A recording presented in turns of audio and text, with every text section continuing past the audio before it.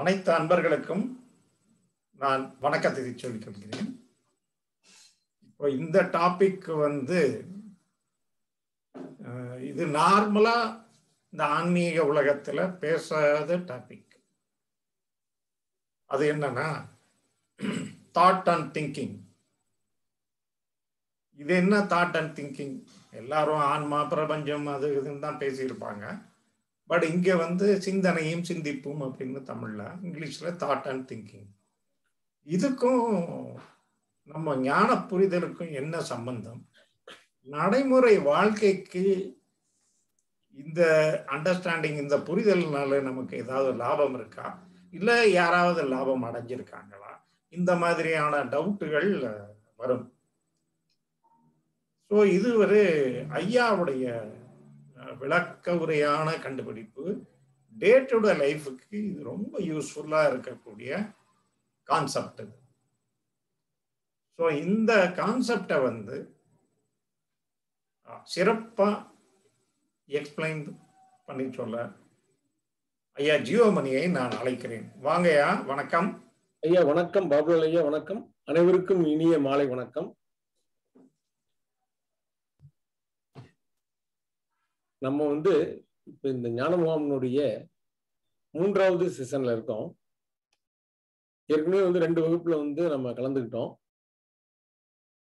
ஞான புரிதல்லாம் என்னன்னு சொல்லிட்டு ஐயா நமக்கு சொல்லியிருக்காங்க. அதை தொடர்ந்து கொஞ்சம் எக்ஸாம்பிளோட நம்ம சரவணன் ஐயா வந்து நமக்குலாம் எக்ஸ்பிளைன் பண்ணி சொல்லி விளக்குனாங்க. இப்ப நம்ம பாக்குறது வந்து இது வந்து இதே இதை வேற கோணத்துல பார்க்கறோம். நம்ம வாழ்க்கையில பாத்தீங்கன்னா பிரச்சனை இல்லாதவங்க யாருமே இல்லை. எல்லாருக்குமே இது ஒரு பிரச்சனை இருந்துட்டு தான் இருக்கு. பிரச்சனைகளை எதிர்கொண்டுட்டு தான் இருக்கும். நம்ம பிரச்சனையை எதிர்கொள்றதுனாலதான் மனதிலையும் ஒரு பாதிப்பு ஏற்படுது. வெளியே ஒரு பிரச்சனை ஏற்படும் போது மனதிலையும் ஒரு பாதிப்பு நமக்கு ஏற்படுது. இன்னும் வேற மாதிரி சொல்லணும்னா மனதுல பாதிப்பை ஏற்படுத்தக்கூடிய புற நிகழ்வை தான் நம்ம புற பிரச்சனைன்னு சொல்றோம். வெளியில ஒரு நிகழ்ச்சி நடக்குது அது பாதிப்பு ஏற்படுத்தவே இல்லைன்னு அது பிரச்சனையே நமக்கு கிடையாது. எது உள்ள நமக்குள்ளார ஒரு பிரச்சனையை உண்டாக்குதோ அந்த நிகழ்வை தான் புறத்துல வந்து பிரச்சனை நம்ம சொல்றோம் நம்ம. இப்படி ஏற்படக்கூடிய பிரச்சனை தான் நம்மளை ரொம்ப முறைக்கு போட்டுருது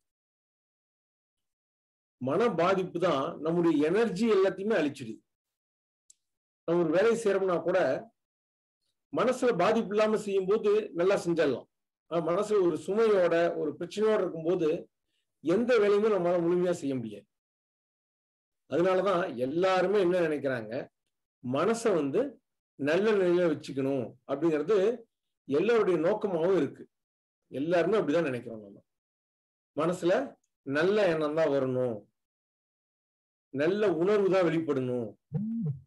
எதிர்மறையான உணர்வு வரக்கூடாது எதிர்மறையான எண்ணம் வரக்கூடாது. எல்லாமே பாசிட்டிவா இருக்கணும் அப்படிங்கிறது எல்லாருடைய நோக்கமாகவும் இருக்கு. இயல்பா எல்லாருடைய நோக்கமும் அதுதான். இன்னும் கூட சொல்லுவாங்க பாருங்க எண்ணம் போல் வாழ்வும்பாங்க. அப்புறம் மனம் போல் வாழ்வு. எண்ணம் எப்படி இருக்கோ அப்படிதான் வாழ்வு இருக்கும் எண்ணம் போல் வாழ்வும்பாங்க. எண்ணத்தை தூய்மையா வச்சுக்கணும் அப்படிங்கிறது எல்லாருடைய நோக்கமா இருக்கு. இன்னும் சொல்றேன் மனசை செம்மையாக்கினால் மந்திரம் செபிக்க தேவையில்லை அப்படிலாம் சொல்றாங்க. ஆனா நம்ம காலையில் என்ன பார்த்தோம்? மனசு எப்படி இருக்கோ அப்படியே அதை ஏத்துக்கணும். நாம இதுவும் அதை வந்து மாத்தி அமைக்கிறதுக்கு எந்த முயற்சியும் பண்ணக்கூடாது. இருக்கிறத ஏத்துக்கிறது தான் சரியான நிலை அப்படின்னு நம்ம காலைல பார்த்தோம். இப்ப அதுக்கும் எண்ணம் போல் வாழ்வு அப்படிங்கிறதுக்கும் கொஞ்சம் வித்தியாசம் இருக்கிற மாதிரி தெரியுது. அப்ப ஒரு மோசமான எண்ணம் வந்தா அதை அதையும் அப்படியே விட்டுறலாமா? அதையும் அப்படியே ஏத்துக்கணுமா? அப்படிங்கிறது எல்லாருடைய கேள்வியாகவும் இருக்கும். முதல் செஷன் பார்த்தவங்களுக்கு எல்லாத்துக்கும் ஒரு கேள்வியாகவும் இருக்கும். வள்ளுவர் என்ன சொல்றாரு? உள்ளத்தால் உள்ளலும் தீதே பிறன் பொருளை கள்ளத்தால் கல்வே மெனல் அப்படின்னு சொல்லிட்டு இருநூத்தி எண்பத்தி ரெண்டாவது குரல்ல சொல்றாரு. அர்த்தம் என்னன்னா மனதால் கூட பிறர் பொருளை வந்து அவங்களுக்கு தெரியாம எடுத்துக்கணும் அப்படிங்கிற நினைப்பே ஒரு தவறானதுதான். அதுவே ஒரு தூய் நமக்கு வந்து தீது செய்யக்கூடியதுதான் அப்படிங்கிறத சொல்றாரு. அவரும் வந்து அந்த மாதிரி நினைக்கிறது ரொம்ப தப்பு அப்படிங்கிறாரு. அதுவும் இன்னைக்கு காலை நடந்த இந்த செஷன்லயும் கொஞ்சம் நமக்கு சந்தேகம் வருது. ஏன் அப்படி சொல்றாங்க? ஆனா இவங்க இப்படி சொல்றாங்களே அப்படின்னு நமக்கு தோணுது. என்னன்னா மனசை பத்தி முழுசா தெரிஞ்சவங்க யார் இருக்கா?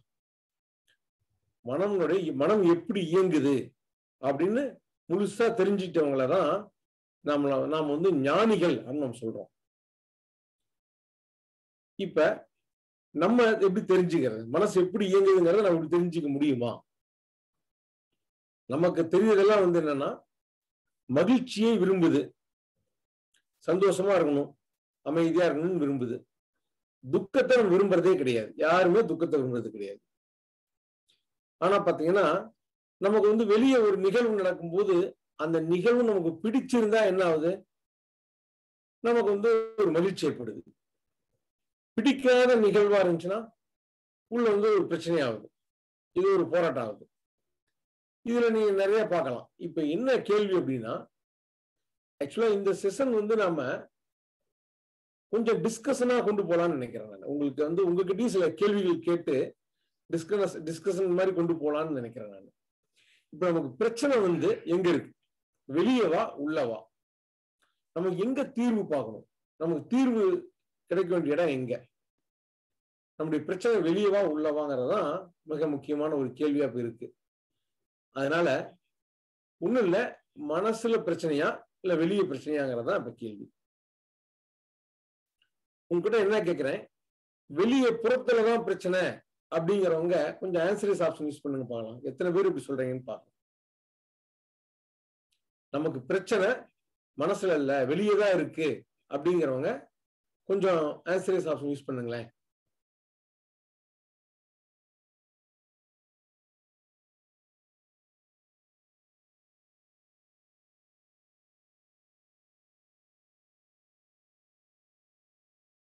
சரி. ஒரு ஆறு ஆறு பேர் சொல்லியிருக்காங்க. ஓகே. ஆறு ஏ- ஆறு ஏழாயிரம் மறுபடியும் ஆறு ஆயிடுச்சு அப்ப வெளியே தான் பிரச்சனைன்னு சொல்றவங்க ஒரு ஆறு பேர் சொல்றாங்க.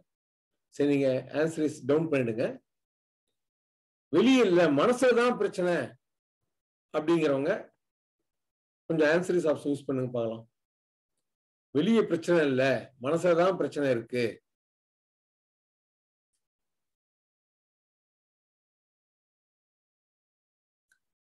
மனசுல தான் பிரச்சனை இருக்கிறவங்களுடைய ஓட்டு எண்ணிக்கை கொஞ்சம் அதிகமா இருக்கு.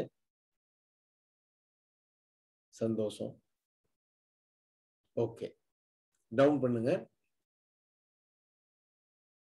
எனக்கு இந்த கேம்ப் இப்பதான் ஃபர்ஸ்ட் டைம் அட்டன் பண்றேன். எனக்கு வந்து இது புது அறிமுகமான ஒரு வகுப்புங்கிறவங்க எவ்வளவு பேரும் தெரிஞ்சுக்கணும்னு பாக்குறேன். கொஞ்சம் இதுதான் ஃபர்ஸ்ட் டைமு நான் கேள்விப்பட்டிருக்கேன். பட் என்னை பத்தி எனக்கு இதை பத்தி எனக்கு எதுவும் தெரியாது.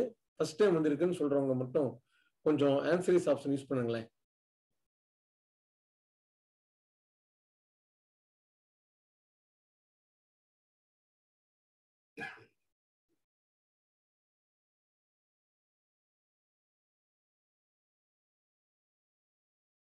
கிட்டத்தட்ட ஒரு இருபத்தி ஒரு பேர் வந்திருக்கீங்க. ஓகே நீங்க ஆன்ஸ் டவுன் பண்ணிடலாம். இது வந்து உங்களுக்கு ஈஸியா புரியுற மாதிரி நான் கொண்டு போகணும்னு நினைக்கிறேன் நான். ஸோ சின்ன ஒரு கதை சொல்றேன். இந்த கதை மூலமா பிரச்சனை வந்து எங்க இருக்குன்னு நான் பார்க்கலாம். ஏன்னா அப்பதான் நம்ம அடுத்த தீர்வுக்கு நம்மளால போக முடியும்.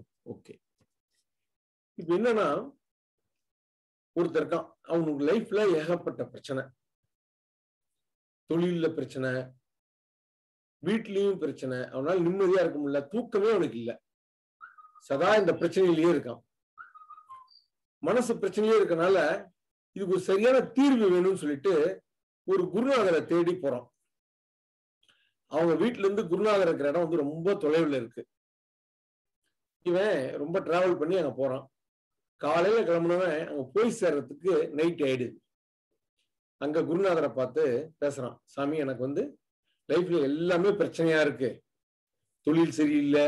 வீட்லயும் எனக்கு பிரச்சனையா இருக்கு. நிம்மதி இல்லாம இருக்கேன்.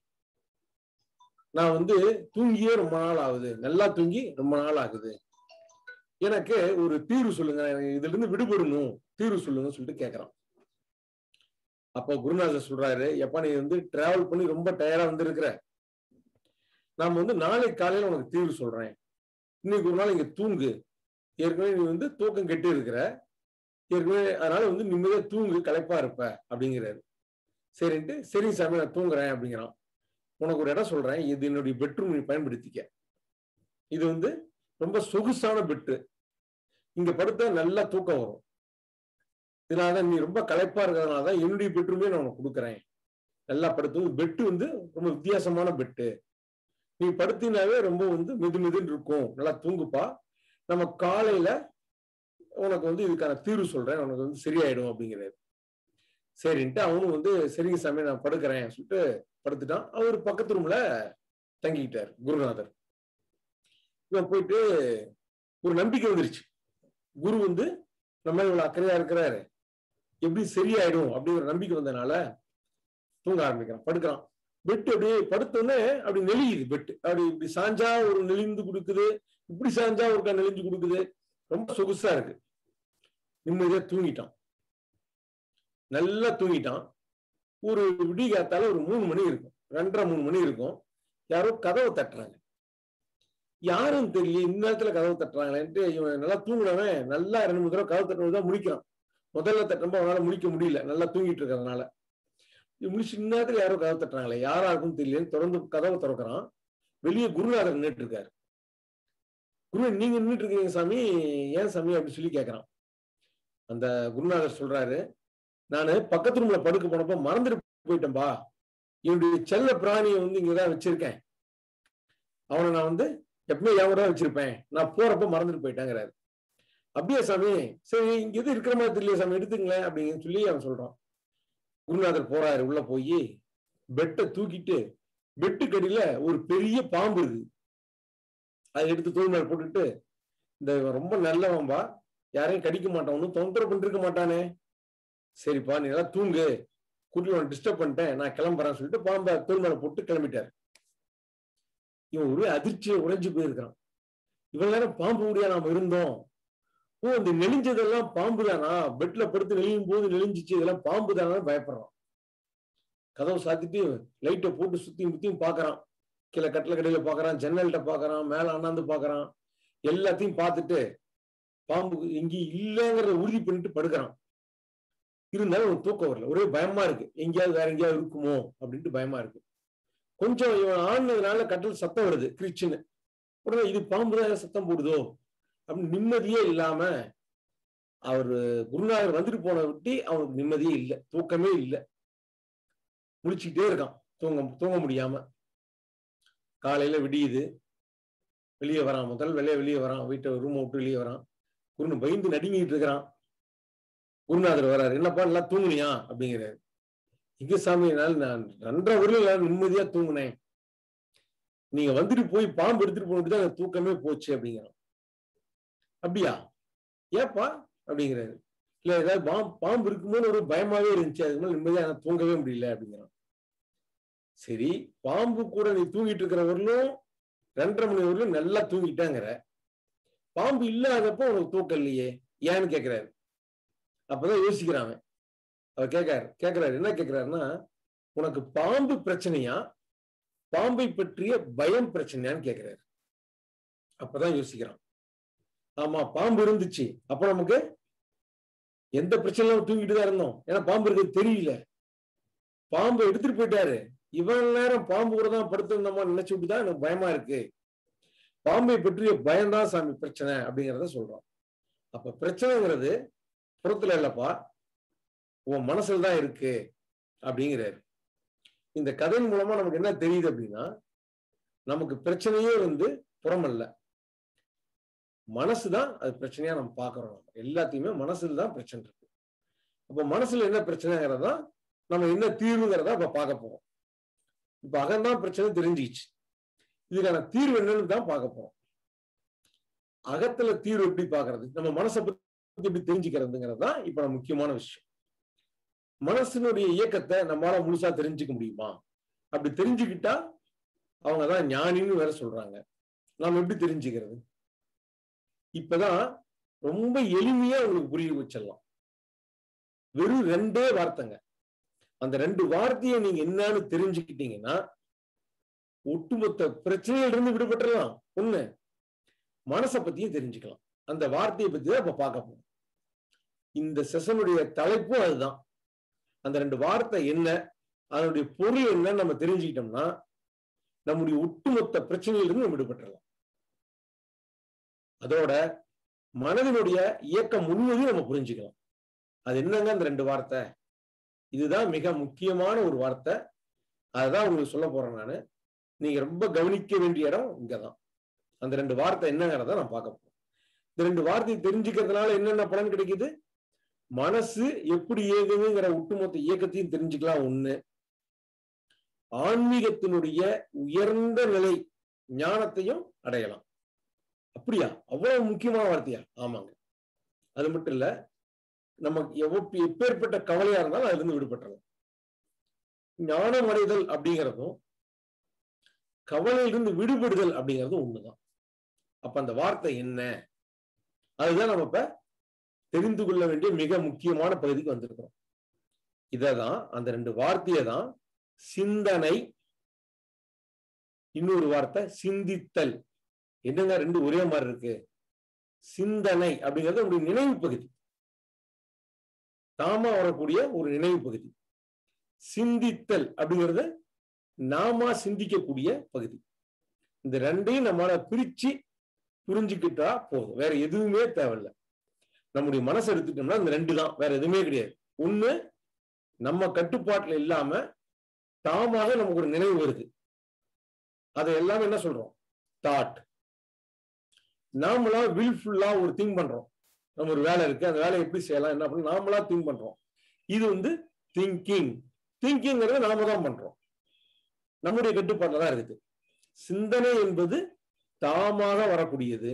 சிந்தித்தல் அப்படிங்கிறது நாம வில்ஃபுல்லா சிந்தனை பண்ற சிந்திக்கிறது தான் சிந்தித்தல். சரி இது எப்படி கண்டுபிடிக்கிறது?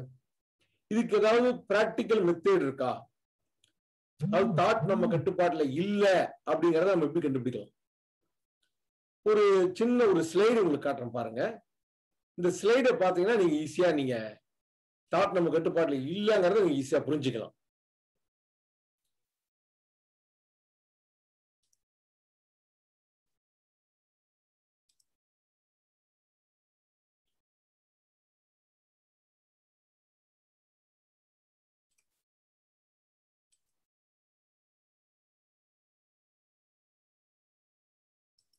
இப்ப நான் உங்களை வந்து ஒரு ரோஜா பூவை நினைச்சுக்க சொல்றேன்.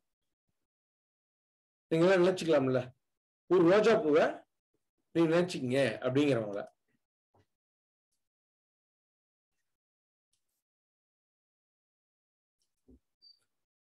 இப்போ உங்களுக்கு ஒரு ரோஜா பூ தெரியும். தெரியுதுங்களா? உங்க எல்லாத்தையும் ரோஜா பூ நினைச்சுக்க சொல்லிட்டேன். நீங்க எல்லாரும் இப்ப ரோஜா பூவை நினைச்சுக்கிட்டீங்க. இப்ப இது நம்ம கட்டுப்பாட்டுல தான் இருக்கு? நாம சொன்னபடி மனசு கேக்குதா இல்லையா? உங்களை வந்து நினைச்சிக்கணும்னு சொன்னேன். நீங்க ரோஜா பூ நினைச்சிட்டீங்க. இப்ப நீங்க சொன்னபடி கேட்டுச்சா இல்லையா மனசு? இப்ப நம்ம மனசு நம்ம கட்டுப்பாட்டுல தான் இருக்கு. ஓகே. இது யாருக்குமே சந்தேகமே கிடையாது. நினைச்சு சொன்ன நினைச்சிட்டீங்க.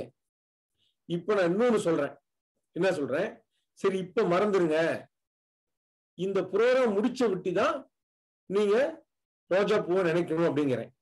இப்ப எல்லாரும் நினைக்க வேண்டாம். மறந்துருங்கிறேன் உங்களால மறக்க முடியுதாப்ப இந்த நிகழ் இந்த புரோகிராம் வரலும் உங்களுக்கு ரோஜா பூ நினைவுல வரக்கூடாது அப்படிங்கிறது உங்களால முடியுமா? இது கண்டிப்பா உங்க கட்டுப்பாட்டுல இல்ல. நான் நினைக்க சொன்னேன் நீங்க நினைச்சிட்டீங்க. இது உங்க கட்டுப்பாட்டுல இருக்கு. ஓகேங்களா? இப்ப நினைக்காதீங்க. அதை மறந்துருங்கன்னு நான் சொன்னேன். மறந்துருங்க. இந்த புரோகிராம் முடிச்ச விட்டு நினைங்க. அது ஒரு நினைக்கக்கூடாதுங்கிறேன். இது நம்ம கட்டுப்பாட்டுல இருக்குங்களா? கண்டிப்பா கிடையாது. ஏன்னா இப்பயும் உங்க நினப்புல இருக்கு. நீங்க மறக்கணும்னு நினைக்கிறவரும் உங்க மனப்புல உன்னுடைய நினப்புல தான் இருக்கும். திடீர்னு குறுக்கில கூட இது ரோஜா ரோஜா பூ நினைக்க சொன்னாங்களாங்கிற நினப்பு தன்னால கூட வரலாம். இது உங்க கட்டுப்பாட்டுல இல்ல. இதத்தான் நான் சொல்றேன் நான். என்ன சொல்றேன் அப்படின்னா நீங்க நினைச்சீங்க பார்த்தீங்களா? அது வந்து திங்கிங் நீங்க நினைச்சது திங்கிங்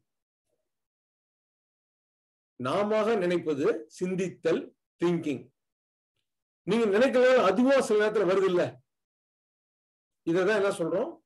சிந்தனை. தாமாக வருவது நினைவு. இத வந்து தாட் அப்படிங்கிறோம். இது ரெண்டையும் நீங்க பிரிச்சு புரிஞ்சுட்டீங்கன்னா போதும். இதை பிரிச்சு புரிஞ்சுக்க முடியுதா? இதான் ரொம்ப முக்கியமான விஷயம். நாம நினைச்சா நல்ல ஞாபகம் வச்சுக்கீங்க. நாம நினைக்கிறது வந்து திங்கிங் தாமாக வருவது தாட் தாட் நம்ம கட்டுப்பாட்டுல இல்ல. நமக்கு தாட் வருதுன்னா வந்த ஒட்டி தான் நமக்கு தெரியும். வந்திருக்கிறது எப்ப நமக்கு தெரியும்னா தாட் வந்த ஒட்டி தான் தெரியும் சிந்தித்தல்ங்கிறது நாம இப்ப சொன்னதுனால நீங்க நினைச்சீங்க. இது வந்து சிந்தித்தல். நீங்களா நினைக்கிறது. இந்த ரெண்டையும் பிரிச்சு பார்க்க தெரிஞ்சிட்டோம்னா தாட் நம்ம கண்ட்ரோல்ல இல்ல. அதை நாம் நிர்வாகம் பண்ண தேவையில்லைங்கிறத புரிஞ்சுக்கிறதாங்க நாம் புரிஞ்சுக்க வேண்டிய மிக முக்கியமான விஷயம். தாட் எப்படி வேணா இருக்கலாம். இந்த தாட் எனக்கு பிடிக்கலன்னு சொல்றதே தவறானதுதான் அது எப்படி நம்ம கட்டுப்பாட்டே இல்லை. நாம அதுக்கு ரெஸ்பான்ஸே கிடையாது. இதை புரிஞ்சுக்கிட்டா நம்ம போதும். இது இன்னும் கொஞ்சம் டீப்பா பார்க்கலாம். நம்ம அடுத்த ஒரு இதுல. இதுல பாருங்க. இந்த ஸ்லைடு உங்களுக்கு முழுசா தெரியுதுங்களா?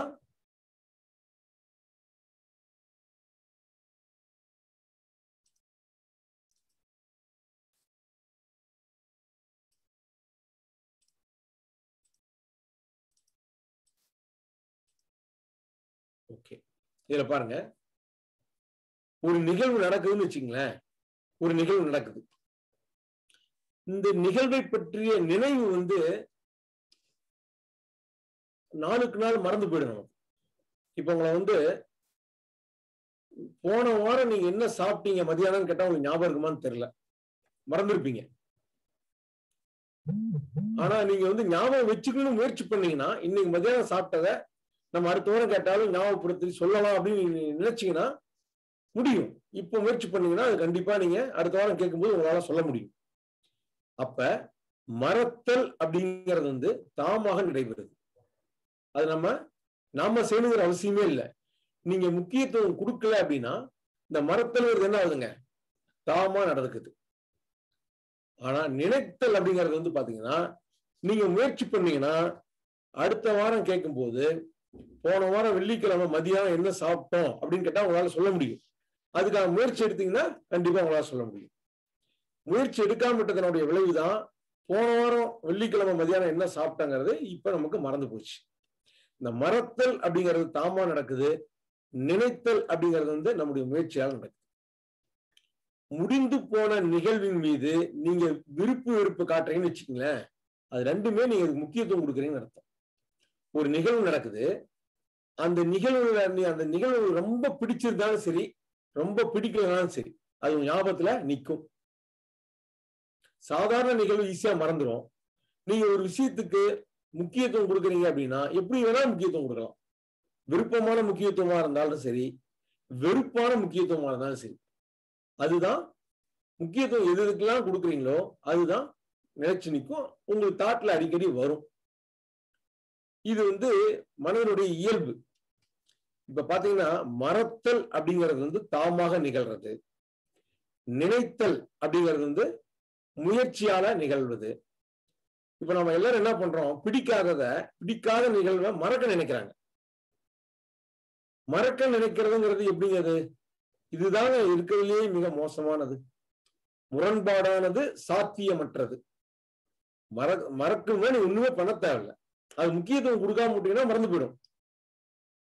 முக்கியத்துவம் கொடுத்தீங்கன்னா நினைப்புல நிற்கும் இல்ல எனக்கு பிடிக்கல. பிடிக்காதல என்ன பண்றோம்? எனக்கு வந்து மறந்துடணும் அப்படின்னு முயற்சி பண்றீங்க. அது மறக்கணும்னு நீங்க நினைக்கிறீங்க. இதுதான் முரண்பாடானது சாத்தியமற்றது. இங்க இந்த என்ன சயின்ஸ் முதல்ல நடக்குதுங்கிறத நீங்க தெரிஞ்சுக்கிட்டீங்க அப்படின்னா நம்ம யாருமே மறக்கிறதுக்காக முயற்சி பண்ண மாட்டோம். அப்ப என்னன்னா நம்ம விட்டு நீங்க வந்து எதெல்லாம் முயற்சி பண்ணுங்களோ அதெல்லாம் உங்ககிட்ட தான் நீடிக்கும். எதெல்லாம் வெறுத்தாலும் சரி நீங்க விரும்பினாலும் சரி. உங்களுக்கு வரக்கூடிய தாட்ல வந்து விருப்பமான தாட்டு விருப்பம் இல்லாத தாட்டுன்னு எதுக்கெல்லாம் ஒரு முத்திரை கொடுக்குறீங்களோ அது உங்ககிட்டயே தான் நீடிச்சிட்டு சரி. இது நல்லா புரிஞ்சுங்க. இதுதான் நமக்கு ரொம்ப ரொம்ப முக்கியமான விஷயம். நமக்கு வரக்கூடிய தாட்டை நாம எந்த நிர்வாகமும் பண்ண தேவையில்லை. அப்ப தாட்டை நமக்கு கவலையா இருக்கு.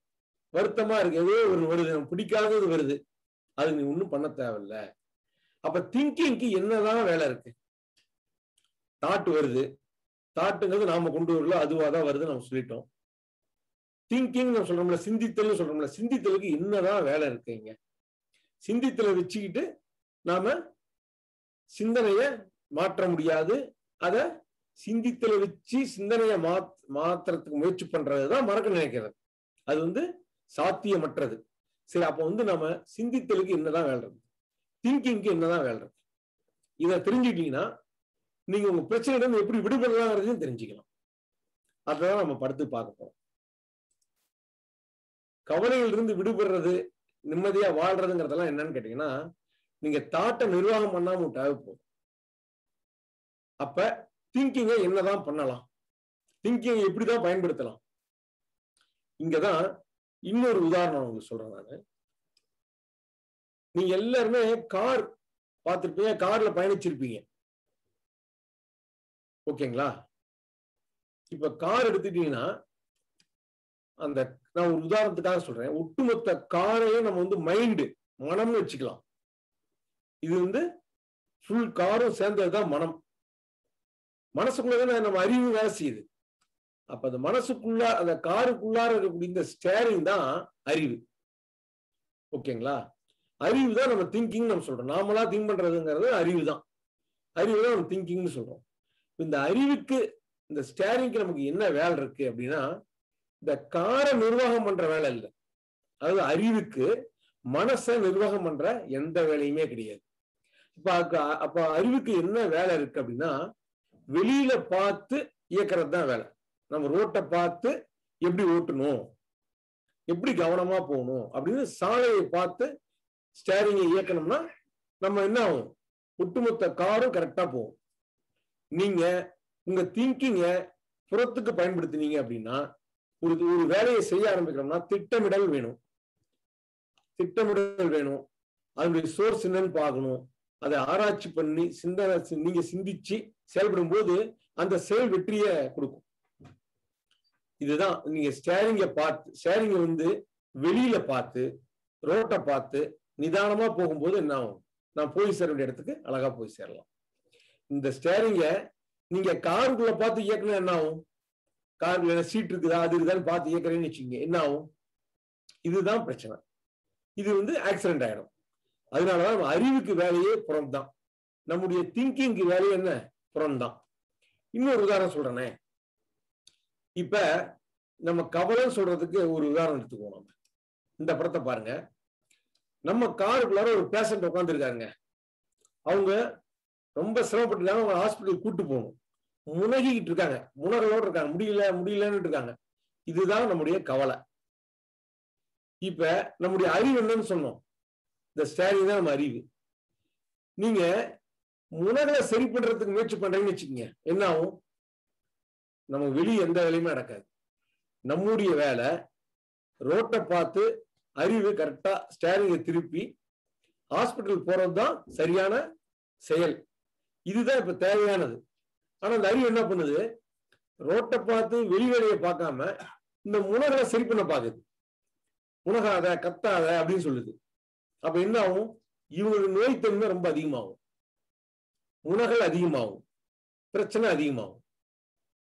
நம்முடைய அறிவோட வேலை புறம்தானே தவிர கவலையை நிர்வாகம் பண்றது அல்ல. நீங்க கவலையை நிர்வாகம் பண்றது விடுபட்டு கவலை எதனால வந்திருக்கோ அதுக்கான காரணத்தை புறத்தில் இருக்கக்கூடிய சூழ்நிலையை மாத்த முயற்சி பண்ணீங்க. உங்க கவனத்தை அங்க கொண்டு போனீங்க அப்படின்னா இதுதான் ஒரு சிறப்பான செயல். இதுதான் தேவையானதும் கூட. இது வந்து ஒரு கேட்கல எனக்கு வந்து ஏகப்பட்ட பிரச்சனை இருக்குது மனசுல. என்னுடைய இயல்பே வந்து மோசமான இயல்பா இருக்கு. எனக்கு எதிர்மறை எண்ணங்கள் நெகட்டிவ் தாட்ஸ் நிறைய இருக்கு. இவ்வளவு இருக்கும்போது என்னால செயல்பட முடியுமா? அப்படிங்கிற கேள்வியை ஒருத்தன் கேட்கறாங்கன்னு வச்சுக்கோங்க.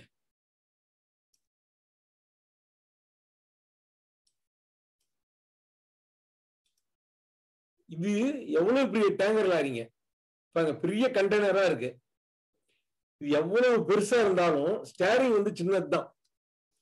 ஸ்டேரிங் வந்து ரோட்டை பார்த்து கரெக்டா ஒண்ணு அந்த ஒட்டு மொத்தமும் இந்த அறிவுக்கு பின்னாடி வந்துடும் அது மாதிரி நீங்க செயல் பக்கம் திரும்பிட்டீங்க அப்படின்னா உங்க மனசு எப்பேற்பட்ட மனசா இருந்தாலும் சரி நீங்க செயல் பக்கம் திரும்பினா உங்களை பின்தொடர்ந்து உங்களுக்கு ஐடியா கொடுக்க ஆரம்பிச்சிடும் என்னென்ன பண்ணா நல்லா சக்சஸ் பண்ணலாம் அப்படின்னு உங்க செயலுக்கு உதவியா வந்துடும் ஓகேங்களா இதை புரிஞ்சுக்கிட்டா போதும். நம்முடைய அறிவு எங்க போகுதோ அறிவு எதை நோக்கி செயல்படுதோ அதை நோக்கி நம்மளுடைய ஒட்டுமொத்த மனமும் இயல்பாகவே வந்துடும் நீங்க அதை நீங்க நிர்வாகம் பண்ண வேண்டிய அவசியமே இங்க இல்லை. இதை புரிஞ்சுக்கிறதுக்கு தான் இந்த ஸ்லைடு போட்டேன் நான். உங்களுக்கு ஈஸியா புரிஞ்சிருக்கும்.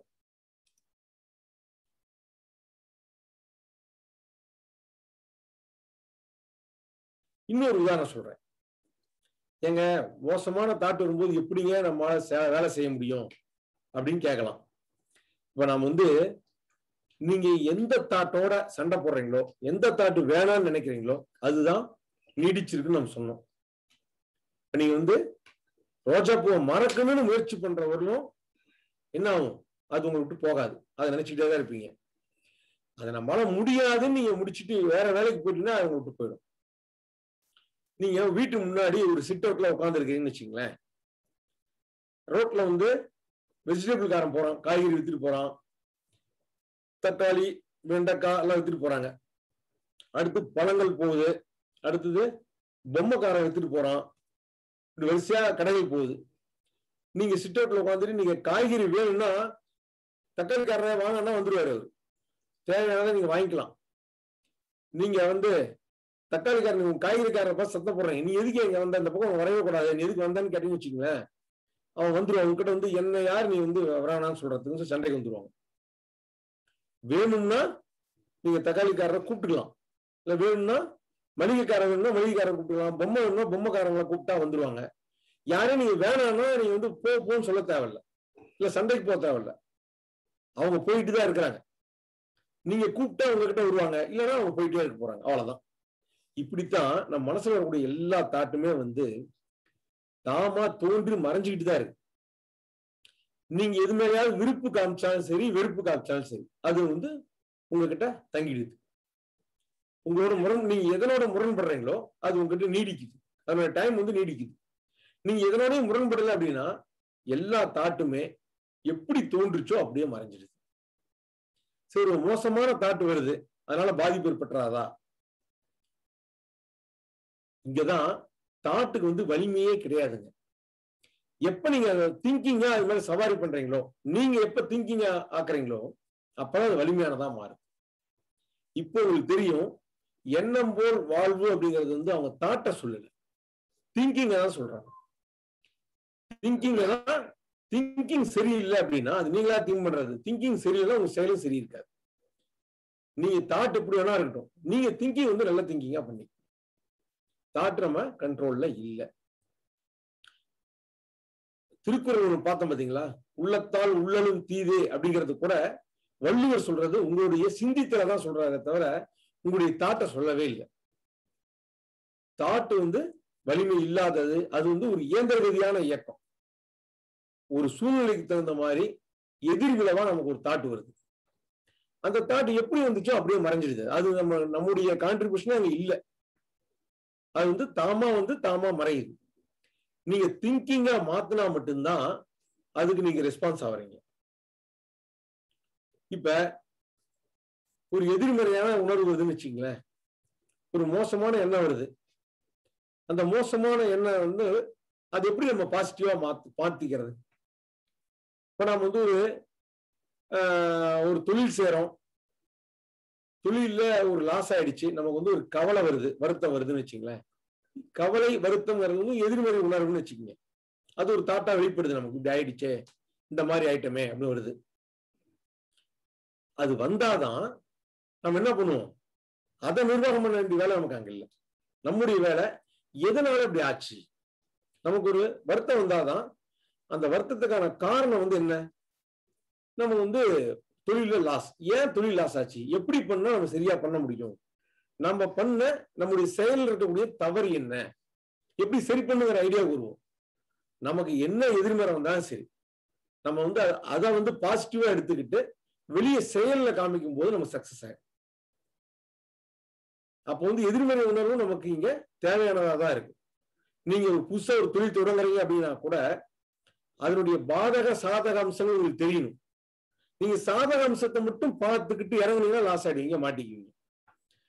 இதுல வந்து இவ்வளவு லாஸும் இருக்கு இவ்வளவு பிரச்சனை இருக்குங்கிறதையும் தெரிஞ்சுக்கிட்டாதான் நம்ம எப்படி வந்து பாதுகாப்பா இதை பண்ண முடியும் அப்படிங்கிற ஐடியா நமக்கு கிடைக்கும். ஒரு பைக் இருக்குன்னு வச்சுங்களேன். பைக்ல வந்து ஆக்சிலேட்டரும் இருக்கு பிரேக்கும் இருக்கு. பிரேக்கினுடைய பயன்பாடு என்ன அப்படின்னு சொல்லி கேட்டாங்க. ஸ்கூல் மாணவர்கிட்ட கேட்கறாங்க எப்ப பிரேக் எதுக்கு வச்சிருக்குன்னு கேட்கறாங்க ஒரு மாணவன் சொல்றான் வண்டியை நிறுத்துறதுக்கு அப்படிங்கிறான். இன்னொரு மாணவன் என்ன சொல்றான் வண்டியை ஸ்லோ பண்றதுக்குங்க அப்படிங்கிறான். மூணாவது ஒரு மாணவன்கிட்ட கேட்கிறாங்க அவன் என்ன சொல்றான்? பிரேக்கினுடைய பயன்பாடு வண்டியை வேகமா ஓட்டுறதுக்கு அப்படிங்கிறான். இல்லப்ப பிரேக் வந்து வண்டி வேகமா ஓட்டுறதுக்கு? அப்ப ஆக்சிலேட்டர் தானே வண்டியை வேகமா ஓட்டுறதுக்கு அப்படிங்கிறாரு. கேள்வி கேட்டவர். அவன் சொல்றான் வண்டியை நீ பிரேக் இருந்தா மட்டும்தான் வண்டியை வேகமாக ஓட்ட முடியும். பிரேக் இல்லாத வண்டி ஓட்டி பாருங்க. வேகமா போனீங்கன்னா ஆக்சிடென்ட் ஆயிடும். அதனால வந்து ரொம்ப மெதுவாக தான் போவீங்க. எப்ப பிரேக் இருக்கோ அப்பதான் நம்மளால பாதுகாப்பா வேகமா ஓட்ட முடியும். அது மாதிரி நமக்கு வரக்கூடிய எதிர்மறை எண்ணங்கள் கூட நம்முடைய பாதுகாப்புக்காக தான் வருது. நம்ம செயலுக்கு எப்படி அதை வந்து பாஸ்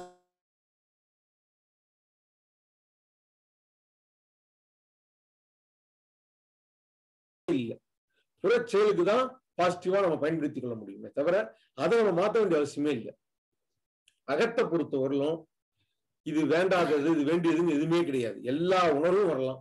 எல்லா தாட்டும் வரலாம். அது வந்து நேச்சர் தான். நாம அங்க மாத்த வேண்டிய வேலை எதுவுமே கிடையாது. அதான் வேண்டுதல் வேண்டாமை இளாநடி சேர்ந்தார்க்கு யாண்டும் இடும்பை இல. அகத்தளவுல இது வேணும் இது வேணான்னு யார் இருக்காங்களோ அவங்க எப்பயுமே துன்பங்கிறதே கிடையாது. இப்ப ஒரு இழப்பா கூட வருத்தம் ஏற்படலாம் அந்த வருத்தம் வந்து நேச்சர்னு எடுத்துக்கங்க. எல்லாமே நீங்க அதை நிர்வாகம் பண்ணாம நேச்சர்னு எடுத்துக்கும் போது எல்லாமே காலத்தால தோன்றி மறையக்கூடியதுதான். நம்ம அதை வந்து இதை பிடிச்சிட்டு இதை பிடிக்கல அப்படிங்கும் போதுதான் அது நீடிக்குது. எப்ப நம்ம பிடிக்கலன்னு சொல்றோமோ அப்ப எல்லாமே அது நீடிக்குது. இது எப்படின்னு கேட்டீங்கன்னா நீங்க எது எந்தெந்த உணர்வெல்லாம் எதிர்த்து போராடுறீங்களோ பிடிக்கலங்கிறீங்களோ அதெல்லாம் வந்து கண்ணாடி முகம் பார்க்குற கண்ணாடி முன்னாடி நின்றுட்டு உங்க பிம்பத்தை எடுத்து நீங்க போராடுற மாதிரி தான் இன்னைக்கு காலையில உங்களுக்கு வந்து சரவணையா அந்த நாய் கதை சொல்லி வேட்டை நாய் கதை சொல்லியிருப்பாரு. எப்படி அதனுடைய பிம்பத்தை எடுத்து அது போராடுதோ அது மாதிரி நம்ம வரக்கூடிய தாட்டை எடுத்து நாமளே போராடுறோம். இது என்னைக்குமே முடிவே கிடையாது. அது பயன்படுத்திக்கங்க. எப்படி பயன்படுத்துறது? ஒரு உதாரணம் சொல்றேனே. இப்ப நீங்க கார்ல போறீங்க. ரியர் வியூ மிரர் ஒன்று இருக்கு இல்லைங்களா? நமக்கு டிரைவர் சீட்டுக்கு மேல மேல ரியர் வியூ மிரர் இருக்கும். கண்ணாடி இருக்கும். அது பேக் சைடு காட்டும். பின்னாடி யார் வராங்கன்னு காட்டும். அது மாதிரி தாங்க மனசு. நம்ம வேலை ரோட்டை பார்த்து ஓட்டுறது தான் முன்னாடி போறது தான் ஏதோ ஒரு சந்தர்ப்பத்துக்கு அது அது எனி டைம் ஏதோ ஒரு சீன் வந்துட்டே இருக்கிறது ஏதோ ஒரு காட்சி வந்துட்டு தான் இருக்கும். நீங்க அதை பார்த்து எப்பப்பெல்லாம் பார்க்கலாம்? வண்டியை பார்க் பண்றீங்க அப்படின்னா பின்னாடி வண்டி வருதான்னு பார்த்துட்டு பார்க் பண்ணலாம். ஒரு வண்டியை சைடு வாங்கும் போது பின்னாடி தான் வண்டி வருதான்னு பார்க்கலாம். தேவைக்கு பயன்படுத்திக்கலாம். அது மாதிரி அது எனி டைம் காமிச்சிட்டு தான் இருக்கும். அது மாதிரி நமக்கு தாட் எனி டைம் எதுவும் வந்துட்டு தான் இருக்கும். வெளி வேலைக்கு தேவை உங்க வளர்ச்சிக்கு உங்க வாழ்க்கைக்கு தேவைன்னா பயன்படுத்திங்க இல்லைன்னா தாட்டே வரக்கூடாதுன்னு சொல்றதுக்கு நமக்கு எந்த ரைட்ஸுமே கிடையாது. அது இயற்கையில வந்துட்டு தான் இருக்கும். இந்த கண்ணாடியில காட்சி வீட்டையும் காட்டிட்டு தான் இருக்கும். நீங்க காட்டக்கூடாதுன்னு சொல்றதுக்கு நமக்கு ரைட்ஸ் கிடையாது. தேவைன்னா அதை பார்த்து பயன்படுத்திக்கலாம். தேவைன்னா அது கவனிக்கவே தேவையில்லை. வந்தா வந்துட்டு போகுதுன்ட்டு நாம நம்ம வேலையை பார்க்கலாம். இப்ப வந்து தாட்னா என்ன திங்கிங்னா என்னன்னு சொல்லிட்டு நான் உங்களுக்கு தெல்ல தெளிவா சொல்லியிருக்கேன். நீங்களும் எளிமையா புரிஞ்சிருப்பீங்க. இப்போ என்னன்னா உங்ககிட்ட ஒரு கேள்வி கேட்குறேன் அந்த கேள்வி வந்து கேள்வி கேட்டு ஒரு கதை சொல்றேன். ஒரு நல்ல கதை கதையை சொல்லிட்டு நான் உங்ககிட்ட கேள்வி கேட்குறேன் அந்த கேள்வி அந்த கேள்விக்கு நீங்க பதில் கொடுக்கறது மூலமா நீங்க எந்த அளவுக்கு புரிஞ்சுட்டீங்கிறத நம்ம டெஸ்ட் பண்ணி பார்த்தலாம் ஓகேங்களா? கேள்வி என்னன்னா ஒரு ராஜா இருக்காரு. அந்த ராஜா வந்து சிறந்த முறையில் ஆட்சி பண்றாரு. மக்கள் எல்லாம் சுபிட்சமா இருக்காங்க. ரொம்ப நல்லா இருக்காங்க. மக்களும் சந்தோஷமா இருக்காங்க. நல்ல அரசன் அவரு. அதே மாதிரி அவருடைய மனைவி அந்த ராணியும் ரொம்ப நல்லா பாத்துக்கிறாரு. ராணி மேல அளவு கடந்து அன்பு வச்சிருக்காரு. ஒரு சமயத்துல ராணிக்கு ஒரு வினோதமான நோய் வந்துருக்கு. இவர் அந்த நோயை சரி பண்றதுக்கு எவ்வளவோ முயற்சி பண்றாரு. ஒன்றும் வழி இல்லை. ரொம்ப முத்திட்டே போகுது. ரொம்ப பயப்படுறாரு. ராணி ஏதாவது நம்மளை விட்டு போயிடுவாளோ நம்ம இழந்துருவோம்னு ஒரு பயமா இருக்கு. எல்லா வகையான ட்ரீட்மெண்ட்டும் பாக்குறாரு ஒரு நாள் ராணி விட்டு வெளியே வராம இருக்கிறாரு. ஒரு நாள் என்ன பண்றாங்க? அரசே நீங்க எப்ப பார்த்தாலும் இதே சிந்தனையில் இருக்கிறீங்க. நீங்க வேட்டைக்காவது போயிட்டு வாங்க. மைண்டு ரிலாக்ஸ் ஆகும் அப்படிங்கிறாங்க சரி கொஞ்சம் நாமளும் சேஞ்ச் பண்ணி பார்ப்போம்னு சொல்லிட்டு அவர் வேட்டை கிளம்புறாரு. அந்த போன நேரத்துல ராணி ரொம்ப சீரியஸ் ஆகி அவங்க இறந்துட்டாங்க. அவர் திரும்பி வர்றாரு ராஜா. நம்ம இல்லாதப்போ இப்படி ஆயிடுச்சே நம்ம கூட இருந்தா நம்ம காப்பாத்திருக்கலாமோ அப்படிங்கிற எண்ணம் அவருக்கு இருக்கு. அதனால ரொம்ப அவர் வந்து கில்ட் ஆகிறார். நாம இருந்ததுன்னா நம்ம காப்பாத்திருப்போம். நம்ம வந்து கவனிக்காம விட்டுட்டோம் அப்படிங்கிற ஒரு எண்ணத்துல அவர் இருக்கார். கில்ட் ஆயிட்டார். ரொம்ப வேதனையா இருக்கு. இந்த வேதனை விட்டு போகவே இல்லை. இது வந்து வார கணக்காகி கடைசியா மாத கணக்காயிடுச்சு நாம வந்து எப்படி அவர் இல்லாம இருக்கிறது அப்படிங்கிற மாதிரி அதே கவலையிலேயே இருந்துட்டு இருக்காரு. இதனால இவருடைய இப்படி கவனம் ஃபுல்லா இல்லாம கவலையிலேயே இருக்கிறதுனால நாட்டினுடைய நிர்வாகம் சீர்குலையுது. மக்கள்லாம் கொஞ்சம் கஷ்டப்பட ஆரம்பிக்கிறாங்க. பக்கத்து நாடு எதிரி அரசர்கள்லாம் என்ன பண்றாங்க? இந்த சந்தர்ப்பத்துல நம்ம போர் புரிஞ்சோம்னா அந்த நாட்டை கைப்பற்றலாம்னு நினைக்கிறாங்க.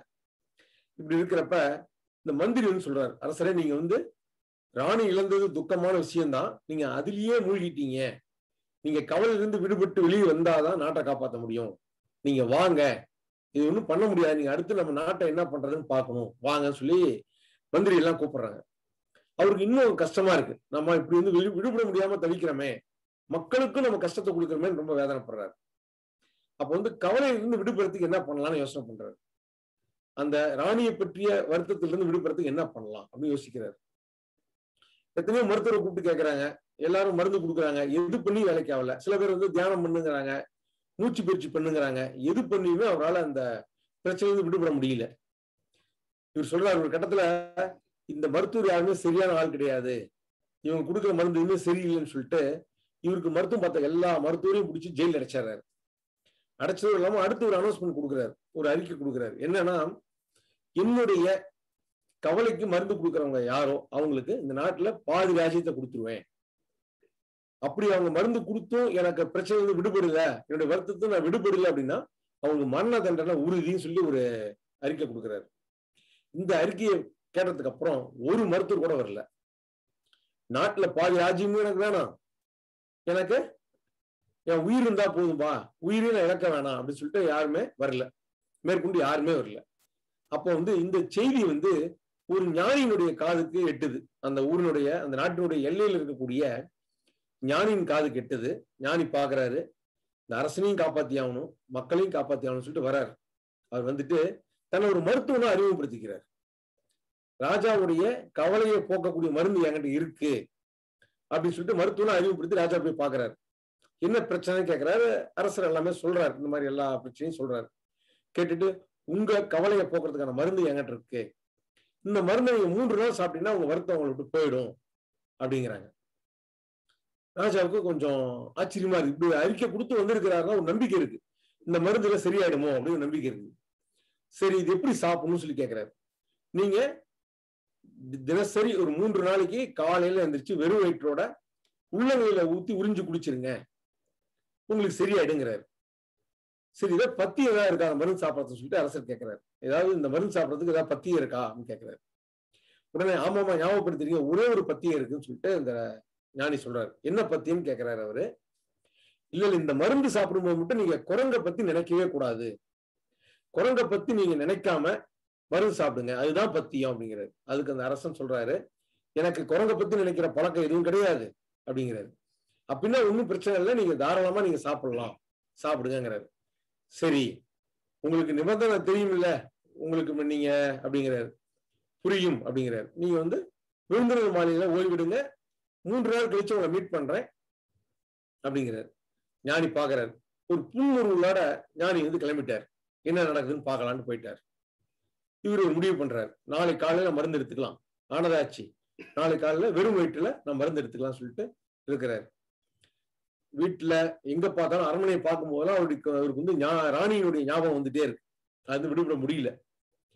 படுக்கிறாரு. தூங்கிற தூக்கமும் சரியா வரல. காலையில் எந்திரிக்கிறாரு. நீராடிட்டு பூஜை ரூம்ல போய் இறைவனை வேண்டிக்கிட்டு இந்த மருந்து பாட்டில் எடுக்கிறாரு. எடுத்துட்டு எடுத்த உடனே அவருக்கு வந்து இந்த ஞானி சொன்னது ஞாபகத்துக்கு வருது. மருந்து அருந்தும் போது குரங்கை பற்றி நினைக்க கூடாது ஞாபகம் வருது. மருந்து பாட்டில் தூக்குறாரு குரங்கை பத்தி நினைக்க கூடாதுன்னு நினைப்பு வந்துருச்சு அவருக்கு. இது ஏதாவது மருந்து பத்தி மருந்து சாப்பிடும்போது குரங்கை பத்தி நினைக்க கூடாதுன்னு சொன்னாலும் நம்ம நினைச்சிட்டோமே. சரி எத்தனையோ மாசத்தை நம்ம வீணடிச்சிட்டோம். இந்த ஒரு நாள் என்ன ஆற போகுது இன்னைக்கு மருந்து சாப்பிட வேணாம் நாளைக்கு சாப்பிட்டுக்கலாம் சொல்லிட்டு மருந்து வச்சிட்டு வச்சுட்டு அன்னைக்கு கொஞ்சம் யோசனை பண்றாரு. நம்ம கொஞ்சம் கவனமா இருக்கணும். நம்ம வந்து நம்ம கொஞ்சம் கவனக்குறைவா குரங்க நினைச்சிட்டோம். குரங்க நினைக்காம இருக்கணும்னு சொல்லி முடிவு பண்றாரு. சொல்லிக்கிறார் சங்கப்படுத்துக்கிறார் நாளை காலையில நான் குரங்க பத்தி நினைக்கவே கூடாது. குரங்க பத்தி நான் நினைக்கவே மாட்டேன். குரங்கு நினைக்க மாட்டேன்னு சொல்லிட்டே இருக்கு அப்பப்போ அவருக்கு ஞானியின் விருத்தமும் விட்டு போகல. ரெண்டுமே இருக்கு. இப்போ எக்ஸ்ட்ரா ஒரு பிரச்சனை. குரங்க நினைக்காம இருக்கிறது ஒரு பிரச்சனை. கூட ராணியை இழந்த கவலை வேற. ரெண்டும் போயிட்டு இருக்கு. நைட்டு தூங்குறாரு. காலையில் எந்திரிக்கிறாரு. சாமி கும்பிடுறாரு. பாட்டில தூக்குறாரு. குரங்கு ஞாபகம் வந்துருச்சு. குரங்கை பத்தி நினைக்க கூடாது நினைக்க கூடாது நினைச்சு நினைச்சிட்டோமே அப்படின்னு சொல்லிட்டு ரொம்ப ஃபீல் பண்றாரு. ரெண்டு நாள் அவுட் ஆயிடுச்சு. இப்ப மந்திரியை கூப்பிடுறாரு. மந்திரியாரே எனக்கு வந்து இப்படி ஒரு சிக்கல் இருக்கு. குரங்க நினைக்காம மருந்து இருக்கிறது எப்படி? அப்படின்னு கேக்குறாரு. மந்திரி கொஞ்சம் புத்திசாலி இல்ல அவர் சொல்றாரு. அரசரே நமக்கு வந்து மனசுல ஒரு எண்ணம் வருதுன்னா ஒரு சந்தர்ப்பத்துல ஒரு எண்ணம் தான் வரும். ஒரே நேரத்துல இரண்டு எண்ணம் வரதுக்கு வாய்ப்பே இல்லை. அதனால நீங்களாவே விரும்பி ஒரு யானையை நினைச்சுக்கீங்க மருந்து இருக்கும்போது யானையினுடைய உருவத்தை நினைச்சீங்க எவ்வளவு பெரிய உருவம்? அப்படிங்கிறப்ப யானையை கற்பனை பண்ணி நினைச்சிங்க நினைச்சுக்கிட்டே மருந்து எடுத்து சாப்பிடுங்க உங்களுக்கு வந்து குரங்கு ஞாபகத்துல வராது அப்படின்னு சொல்லிட்டு அவங்க சொல்றாரு.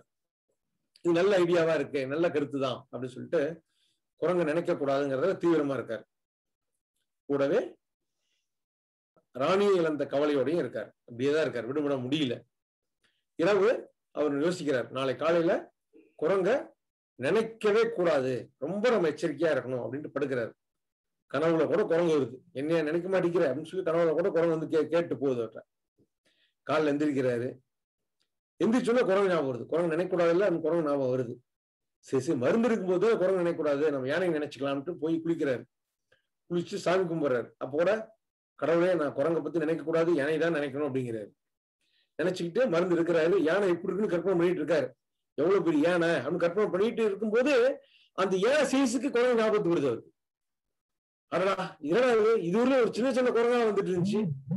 இப்ப யானை நினைக்கலாம்னு பார்த்தா ஏன் சைஸுக்கு குரங்கு வருது அப்படின்னு சொல்லிட்டு ரொம்ப வேதனைப்படுறாரு. என்னடா இது? மூணு நாள் அவுட் ஆயிடுச்சு. மூணு நாள் நம்ம மருந்து இருக்க முடியலன்னு வருத்தப்படுறாரு. சரி என்னதான் பண்றது? இந்த மருத்துவர் இதோ நம்மளை சூழ்ச்சி பண்ணிட்டாரு. அவர் வரட்டும் உண்டுலன்னு பண்ணிடலாம்னு சொல்லிட்டு உட்காந்துருக்காரு அப்ப வந்து அந்த ஞானி வராரு அரசரே மருந்தை அழுந்தினீரா கவலை உங்களை விட்டு பறந்து ஓடியதா? அப்படின்னு கேட்கிறாரு. இவர் கேட்கிறார் எங்க மருந்து சாப்பிட்டேன்? நீங்க மிகப்பெரிய சூழ்ச்சிக்காரர் அப்படிங்கிறாரு. நானா? உங்களுக்கு மருந்து கொடுத்து உதவ தானே வந்தேன். என்ன போய் சூழ்ச்சிக்காரன்னு சொல்றீங்களேன்னு சொல்லிட்டு இந்த ஞானி கேட்கிறாரு. எனக்கு குரங்கை பத்தி நினைக்கிற பழக்கமே இல்லை. நீங்க வந்து குரங்கை பத்தி நினைக்காதுன்னு சொல்லி என்னால் அதை விட முடியாம தவிக்கிறேன். இதை வந்து மருந்து குரங்கை பத்தி நினைக்காம எப்படி மருந்து இருக்குன்னு எனக்கு தெரியலங்கிறாரு. உடனே இந்த ஞானி சொல்றாரு குரங்க நினைக்காம மருந்து எடுக்கிறது எப்படின்னு என்ன கேட்டிருந்தா நான் உங்களுக்கு சொல்லி கொடுத்துருப்பேன் அப்படிங்கிறாரு. என்னது நீங்க சொல்லி கொடுத்துருப்பீங்களா? முதல்ல அதை சொல்லி கொடுங்கிறாரு உடனே இந்த ஞானி என்ன பண்றாரு? குரங்க நினைக்காம மருந்து எப்படி சாப்பிடணுங்கிற விளக்கத்தை அவர் கொடுக்குறாரு. இந்த விளக்கத்தை அந்த அரசரும் ஏத்துக்கிறாரு. கொஞ்சம் ஒரு சில சந்தேகங்கள் வருது. சந்தேகத்தை கேட்கிறாரு அதுக்கான பதில் கொடுக்குறாரு. ஆனா அந்த அரசர் ஏத்துக்கிறாரு. ஏத்துக்கிட்டு அடுத்த மூன்று நாள் வந்து குரங்க நினைக்காம மருந்து சாப்பிடுறாரு. அதே மாதிரி நான்காம் நாள் அவர் விட்டு கவலையும் போயிடுச்சு.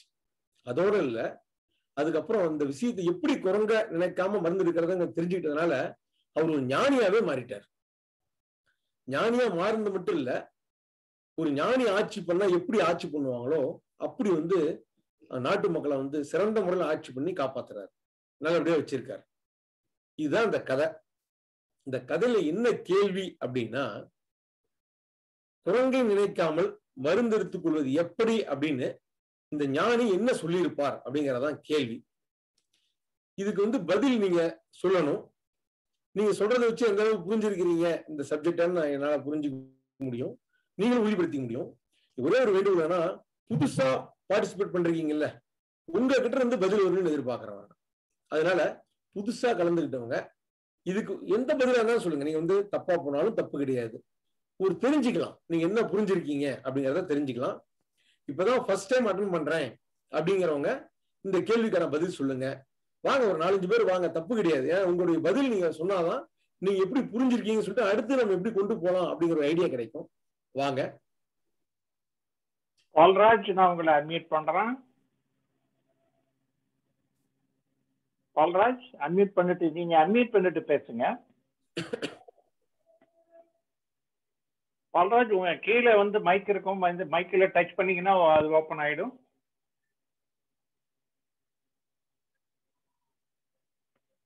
அவருக்கு கொஞ்சம் ப்ராப்ளம் போல இருக்கு. Okay sir okay okay sir okay sir பேசுங்க எங்க பேசுறீங்க? எங்க சென்னையில இருந்து பேசுறேன் sir Chennai. Okay okay sir அந்த ஞானி வந்து ராஜா கிட்ட வந்து அந்த எண்ணத்தை வந்து சும்மா இரு அதுவே போயிடும் அப்படி. சொல்லியிருப்பாரு சார். சரி சரி. சரி ஓகே நன்றி. மணிவண்ணன் நான் உங்களை ஓபன் பண்ணியிருக்கேன் வாங்க. எங்க இருந்து பேசுறீங்க? ஆ சென்னை சார். Okay good. பேசுங்க. சொல்லுங்க. அதுதான் சார் சார் ஃபர்ஸ்ட் சொன்ன மாதிரி அந்த தாட்ஸ் அண்ட் திங்கிங் அது இல்லாம மூணாவது ஒண்ணு சொன்னாரு அதை மறக்கணும் அப்படின்னு நினைக்கும் போது மறுபடியும் மறுபடியும் நமக்கு அதை பத்தின எண்ணங்கள் வந்துகிட்டே இருக்கும் அப்படின்ட்டு.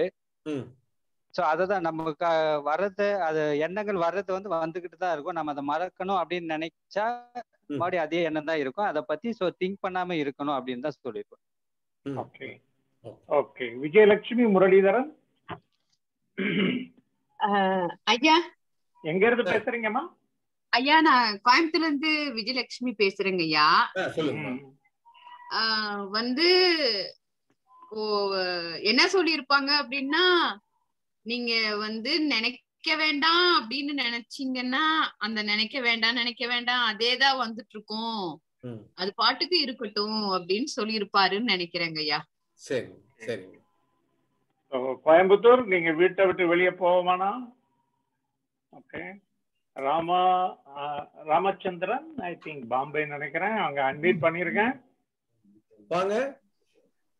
Hello hello. Sir actually it is sort of placebo effect மாதிரி. அவர் ஒண்ணுமே சொல்லிருக்கவே மாட்டார். இவோட டோல்டு தட் இதை நீ இப்படி எடுத்துக்கணும். இந்த மாதிரி உறிஞ்சி எடுத்துக்கோ. அந்த மருந்துல எஃபெக்ட் இருக்கோ இல்லையோ இவர் சொல்றாரு. அதனால அது எஃபெக்ட் இருக்கலாம்.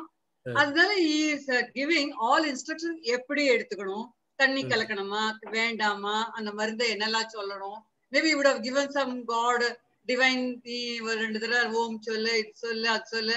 அப்படி சொல்லிட்டானா is giving one effect of the medicine actually மெடிசன்ல இருக்கோ இல்லையோ அந்த ஜால்ரா போடுற அவுட் சைடு எஃபெக்ட்லயே இவருக்கு அந்த நான் எதை பத்தியுமே நினைக்க தோணாது. இந்த மருந்து மாத்திரம் தான் நினைக்க தோணும். So concentrating only on the work தான் அவருக்கு அப்ப மனசுல படும். அதனால அது ஒர்க் பண்ணும் சரி ஓகே நன்றி. நெக்ஸ்ட் கேலக்ஸி மிஷின் நேம்ல இருக்காங்க. அவங்க பேரு ஊரு ரெண்டையும் சொல்லிடுங்க. உங்களை அன்மீட் பண்ணிருக்கேன் அஹ் ஐயா சாந்தலட்சுமி பொள்ளாச்சி. பேசுங்கம்மா. சொல்லுங்க. அவரு வந்து அது மருந்தே இல்லைங்கய்யா. அதுல இருக்கிறது வந்து நான் நினைக்கிறது தண்ணி வெறும் தண்ணியா இருக்கும். அவர் அந்த ராஜா கிட்ட என்ன சொல்லியிருப்பாருன்னா இது குடிச்சைன்னா நீ வந்து அந்த எல்லா குரங்க எல்லாம் நினைக்காம இருப்ப அப்படின்னு சொல்லியிருப்பாரு. அதாவது அது ஒரு நம்பிக்கை சார்ந்த விஷயமா இருக்கிறதுனால அந்த ராஜா வந்து அதைய குடிக்கும் போதெல்லாம் "ஆ, இது மருந்தை மட்டுமே நினைச்சிருப்பாருன்னு நான் நினைக்கிறேங்கய்யா ஓகே நன்றி. சாமுண்டேஸ்வரி நான் உங்களை அன்மீட் பண்ணியிருக்கேன்.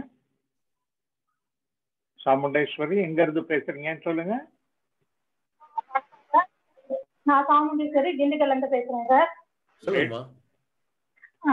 எது தேவையோ அதை பத்தி மட்டும் நினைச்சா போதும். எது. வேணாங்கிறத பத்தி நம்ம யோசிக்கவே தேவையில்லை. எது தேவை அது மட்டும் இம்பார்ட்டன்ஸ் கொடுத்தா போதும். மருந்து சாப்பிடணும்னா மருந்தை பத்தி மட்டும் நினை போதும் அப்படின்னு சொல்லியிருக்கேன். Okay. Okay. Meenakshi Shankar? Meenakshi Shankar? Unmute பண்ணிக்கீங்க. Okay next person பேரலி விமலா சிவராமன் விமலா சிவராமன் சார் வணக்கம். கேக்குறதா? கேக்குது? இப்ப நம்ம இன்னைக்கு காலையில இருந்து கேட்டது படி பார்த்தா குரங்கோட தாட் வந்து அவருக்கு தானா வந்தது. அவர் நினைக்கல. இல்லையா? சோ அந்த இவர் சொன்னது என்னன்னா நீ நினைச்சா சாப்பிடாதுன்னு தான் சொல்லியிருந்தாரு தவிர. அவர் வந்து தானா வந்த தாட்டுக்கு ஜவாப் எடுத்துக்கோங்கன்னு சொல்லல. சோ அவர் குரங்கு எண்ணம் வந்ததுக்கு அவர் ரெஸ்பான்சிபிலிட்டி இருக்க கூடாது அப்படிங்கிறது தான் அதோட இதுவா இருக்க முடியும் ஓகேங்க ஓகேங்க. ஓகே.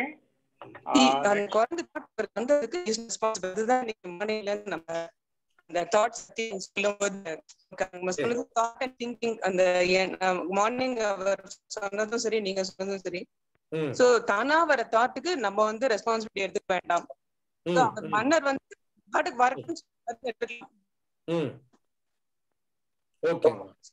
So, அந்த மன்னர் வந்து தானா இக்னோர் பண்ணிட்டு அவர் வந்து மெடிசன் எடுத்திருக்கலாம். அவருக்கு அது ஹீல் ஆயிருக்கும். அந்த எண்ணம் வந்து தன்னால வந்ததா? ம் தேங்க்ஸ் சார் ஓகே நான் சொல்லிடுறேன் உங்களுக்கு நான். இல்ல ஒருத்தர் சாட்ல கொடுத்துருக்காங்க. சாட்ல வந்து என்ன கொடுத்துருக்காங்கன்னா செய்யும் செயலில் ஒன்றி செயல் செய்யும் போது எண்ணம் வர வாய்ப்பு இல்லை. அப்படின்னு அப்புறம் அஷியா சக்கில். நான் மீட் பண்ணியிருக்கேன். வாங்க. வாங்க. ஆ பேசுங்க பேசுங்க. சார் நீங்க அந்த கடைசியா அந்த அதுக்கான வழி சொல்லும் போது எனக்கு அந்த நெட் சரியா கனெக்ட் இல்ல சார். அது அதாவது அவரு அந்த மருந்து சாப்பிடும் போது குரங்க தான் நினைக்கிறாங்க அப்படின்னு. அதுக்கப்புறம் எனக்கு நெட் கனெக்ட் இல்லாம சரி இல்லாம திருப்பி இப்பதான் சார் கனெக்ட் ஆச்சு எனக்கு. பண்ணுங்க சார். சரி அதான் அதாவது என்ன குரங்கு நினைக்காம மருந்து இருக்கணும் அப்படிங்கறது தான் ஞானி சொன்னது. ஆனா அவரால அது முடியல. எப்படி குரங்கு நினைக்காம மருந்து எடுக்கிறது ஞானி சொல்லியிருக்காரு. எப்படி சொல்லிருப்பாரு அப்படிங்கறது தான் எங்க கேள்வி. சரி நாம வந்து வேற யாரும் இல்லை நம்ம பதிலுக்கு போயிடுவோம் நாம. இது வந்து விமலா சிவ விமலா இல்ல இல்ல ஒருத்தங்க ஒருத்தங்க அவங்க வந்து அவங்க பேர் வந்து விம்- விமலா விமலா விமலா விமலா. அவங்க வந்து ரொம்ப எக்ஸாக்டான பதில் அவங்க கொடுத்தாங்க. அவங்களுக்கு என்னுடைய பாராட்டுக்கள் நன்றி. ரொம்ப நல்லா சொன்னீங்க. நான் முதல் சொன்னவங்க சும்மா இருக்கணும்னு சொல்லிட்டு அதனுடைய அது நியரஸ்ட் பதிலை கொடுத்தாங்க. சரி இப்போ என்ன பதில் கொடுத்தாருன்னு பார்ப்போம். என்னன்னு கேட்டீங்கன்னா குரங்க நினைக்காம எப்படி மருந்து சாப்பிட்றது? குரங்கு நினைக்க கூடாதுன்னு சொல்லிட்டாரு. யாரு? ஞானி. இவரு குரங்கு ஞாபகம் வந்துட்டே இருக்கு. இவர் சொல்றாரு என்னால முடியவே இல்லைங்கிறாரு. இது ரொம்ப ஈஸியாச்சே குரங்க நினைக்காம மருந்து எடுக்கிறது ரொம்ப ஈஸியாச்சேன்னு சொல்லிட்டு ஞானி சொல்றாரு. ஈஸியா அதை சொல்லி கொடுங்கன்னு கேட்கிறாரு அப்ப அந்த ஞானி கேட்கிறாரு நான் உங்ககிட்ட என்ன சொன்னேன்? நீங்க மருந்து சாப்பிடும்போது நீங்க குரங்க பத்தி நினைக்க கூடாதுன்னு சொன்னேன். ஆமா. நான் எங்க நினைக்கிறேன்? அதுவெல்லாம் வருது எனக்கு அப்படின்னு சொல்லி அவர் சொல்றாரு. அதுவா வந்தா அது வந்து தாட்டு. அதுக்கு நீங்க பொறுப்பே கிடையாது. நீங்க வில்ஃபுல்லா நினைக்க வேணாம் தானே சொன்னேன் அப்படிங்கிறாரு இந்த ஞானி. அப்ப இந்த அரசர் என்ன கேக்குறாரு? ஏங்க என் மனசுலதான் வருது. அதுவா வந்தாலும் நான் நினைக்கிற மாதிரி தான் அர்த்தம். நானா நினைச்சாலும் சரி இல்ல அதுவா வந்தாலும் என் மனசுக்குள்ள இருந்தாலும் வருது. அது நான் தானே பொறுப்பு அப்படின்னு சொல்லிட்டு இந்த ராஜா கேக்குறாரு. அப்ப இவர் கேக்குறாரு இந்த ஞானி இப்ப நீ காலையில இருந்து எவ்வளவு வேலைகள் செய்யற குளிக்கிற பூஜை ரூம்ல சாமி கும்பிடுற காலை உணவு சாப்பிடுற வ- போற வர இதெல்லாம் வந்து எப்படி நடக்குதுன்னு கேக்குறாரு. அது யார் பொறுப்புன்னு கேக்குறாரு. நான் தான். ஏன் முயற்சியில் தான் நடக்குதுன்னு சொல்லிட்டு இந்த ராஜா சொல்றாரு. சரி நீ சாப்பிட்ட சாப்பாடு ஜீரணம் ஆகுதுல்ல வயிற்றுக்குள்ள போன உடனே ஜீரணமாயி ரத்தமா மாறுது சதையா மாறுது எலும்பா மாறுது இதுவா மாறுது இல்ல உன்னுடைய உள்ளுறுப்புலாம் இயங்குது இல்ல ரத்த ஓட்டம் ஓடுது. உன்னுடைய நுரையீரல் இயங்குது சிறுநீரகம் இயங்குது. இதெல்லாம் நீ தானே செய்யற. அது நீ தானே பொறுப்புன்னு சொல்லி கேட்கிறாரு இதுக்கு நான் பொறுப்பு இல்ல. இது வந்து இயற்கையின் இயக்கம். எனக்குள்ளார நடக்குது. இது வந்து இயற்கையின் இயக்கம் அப்படிங்கிறாரு.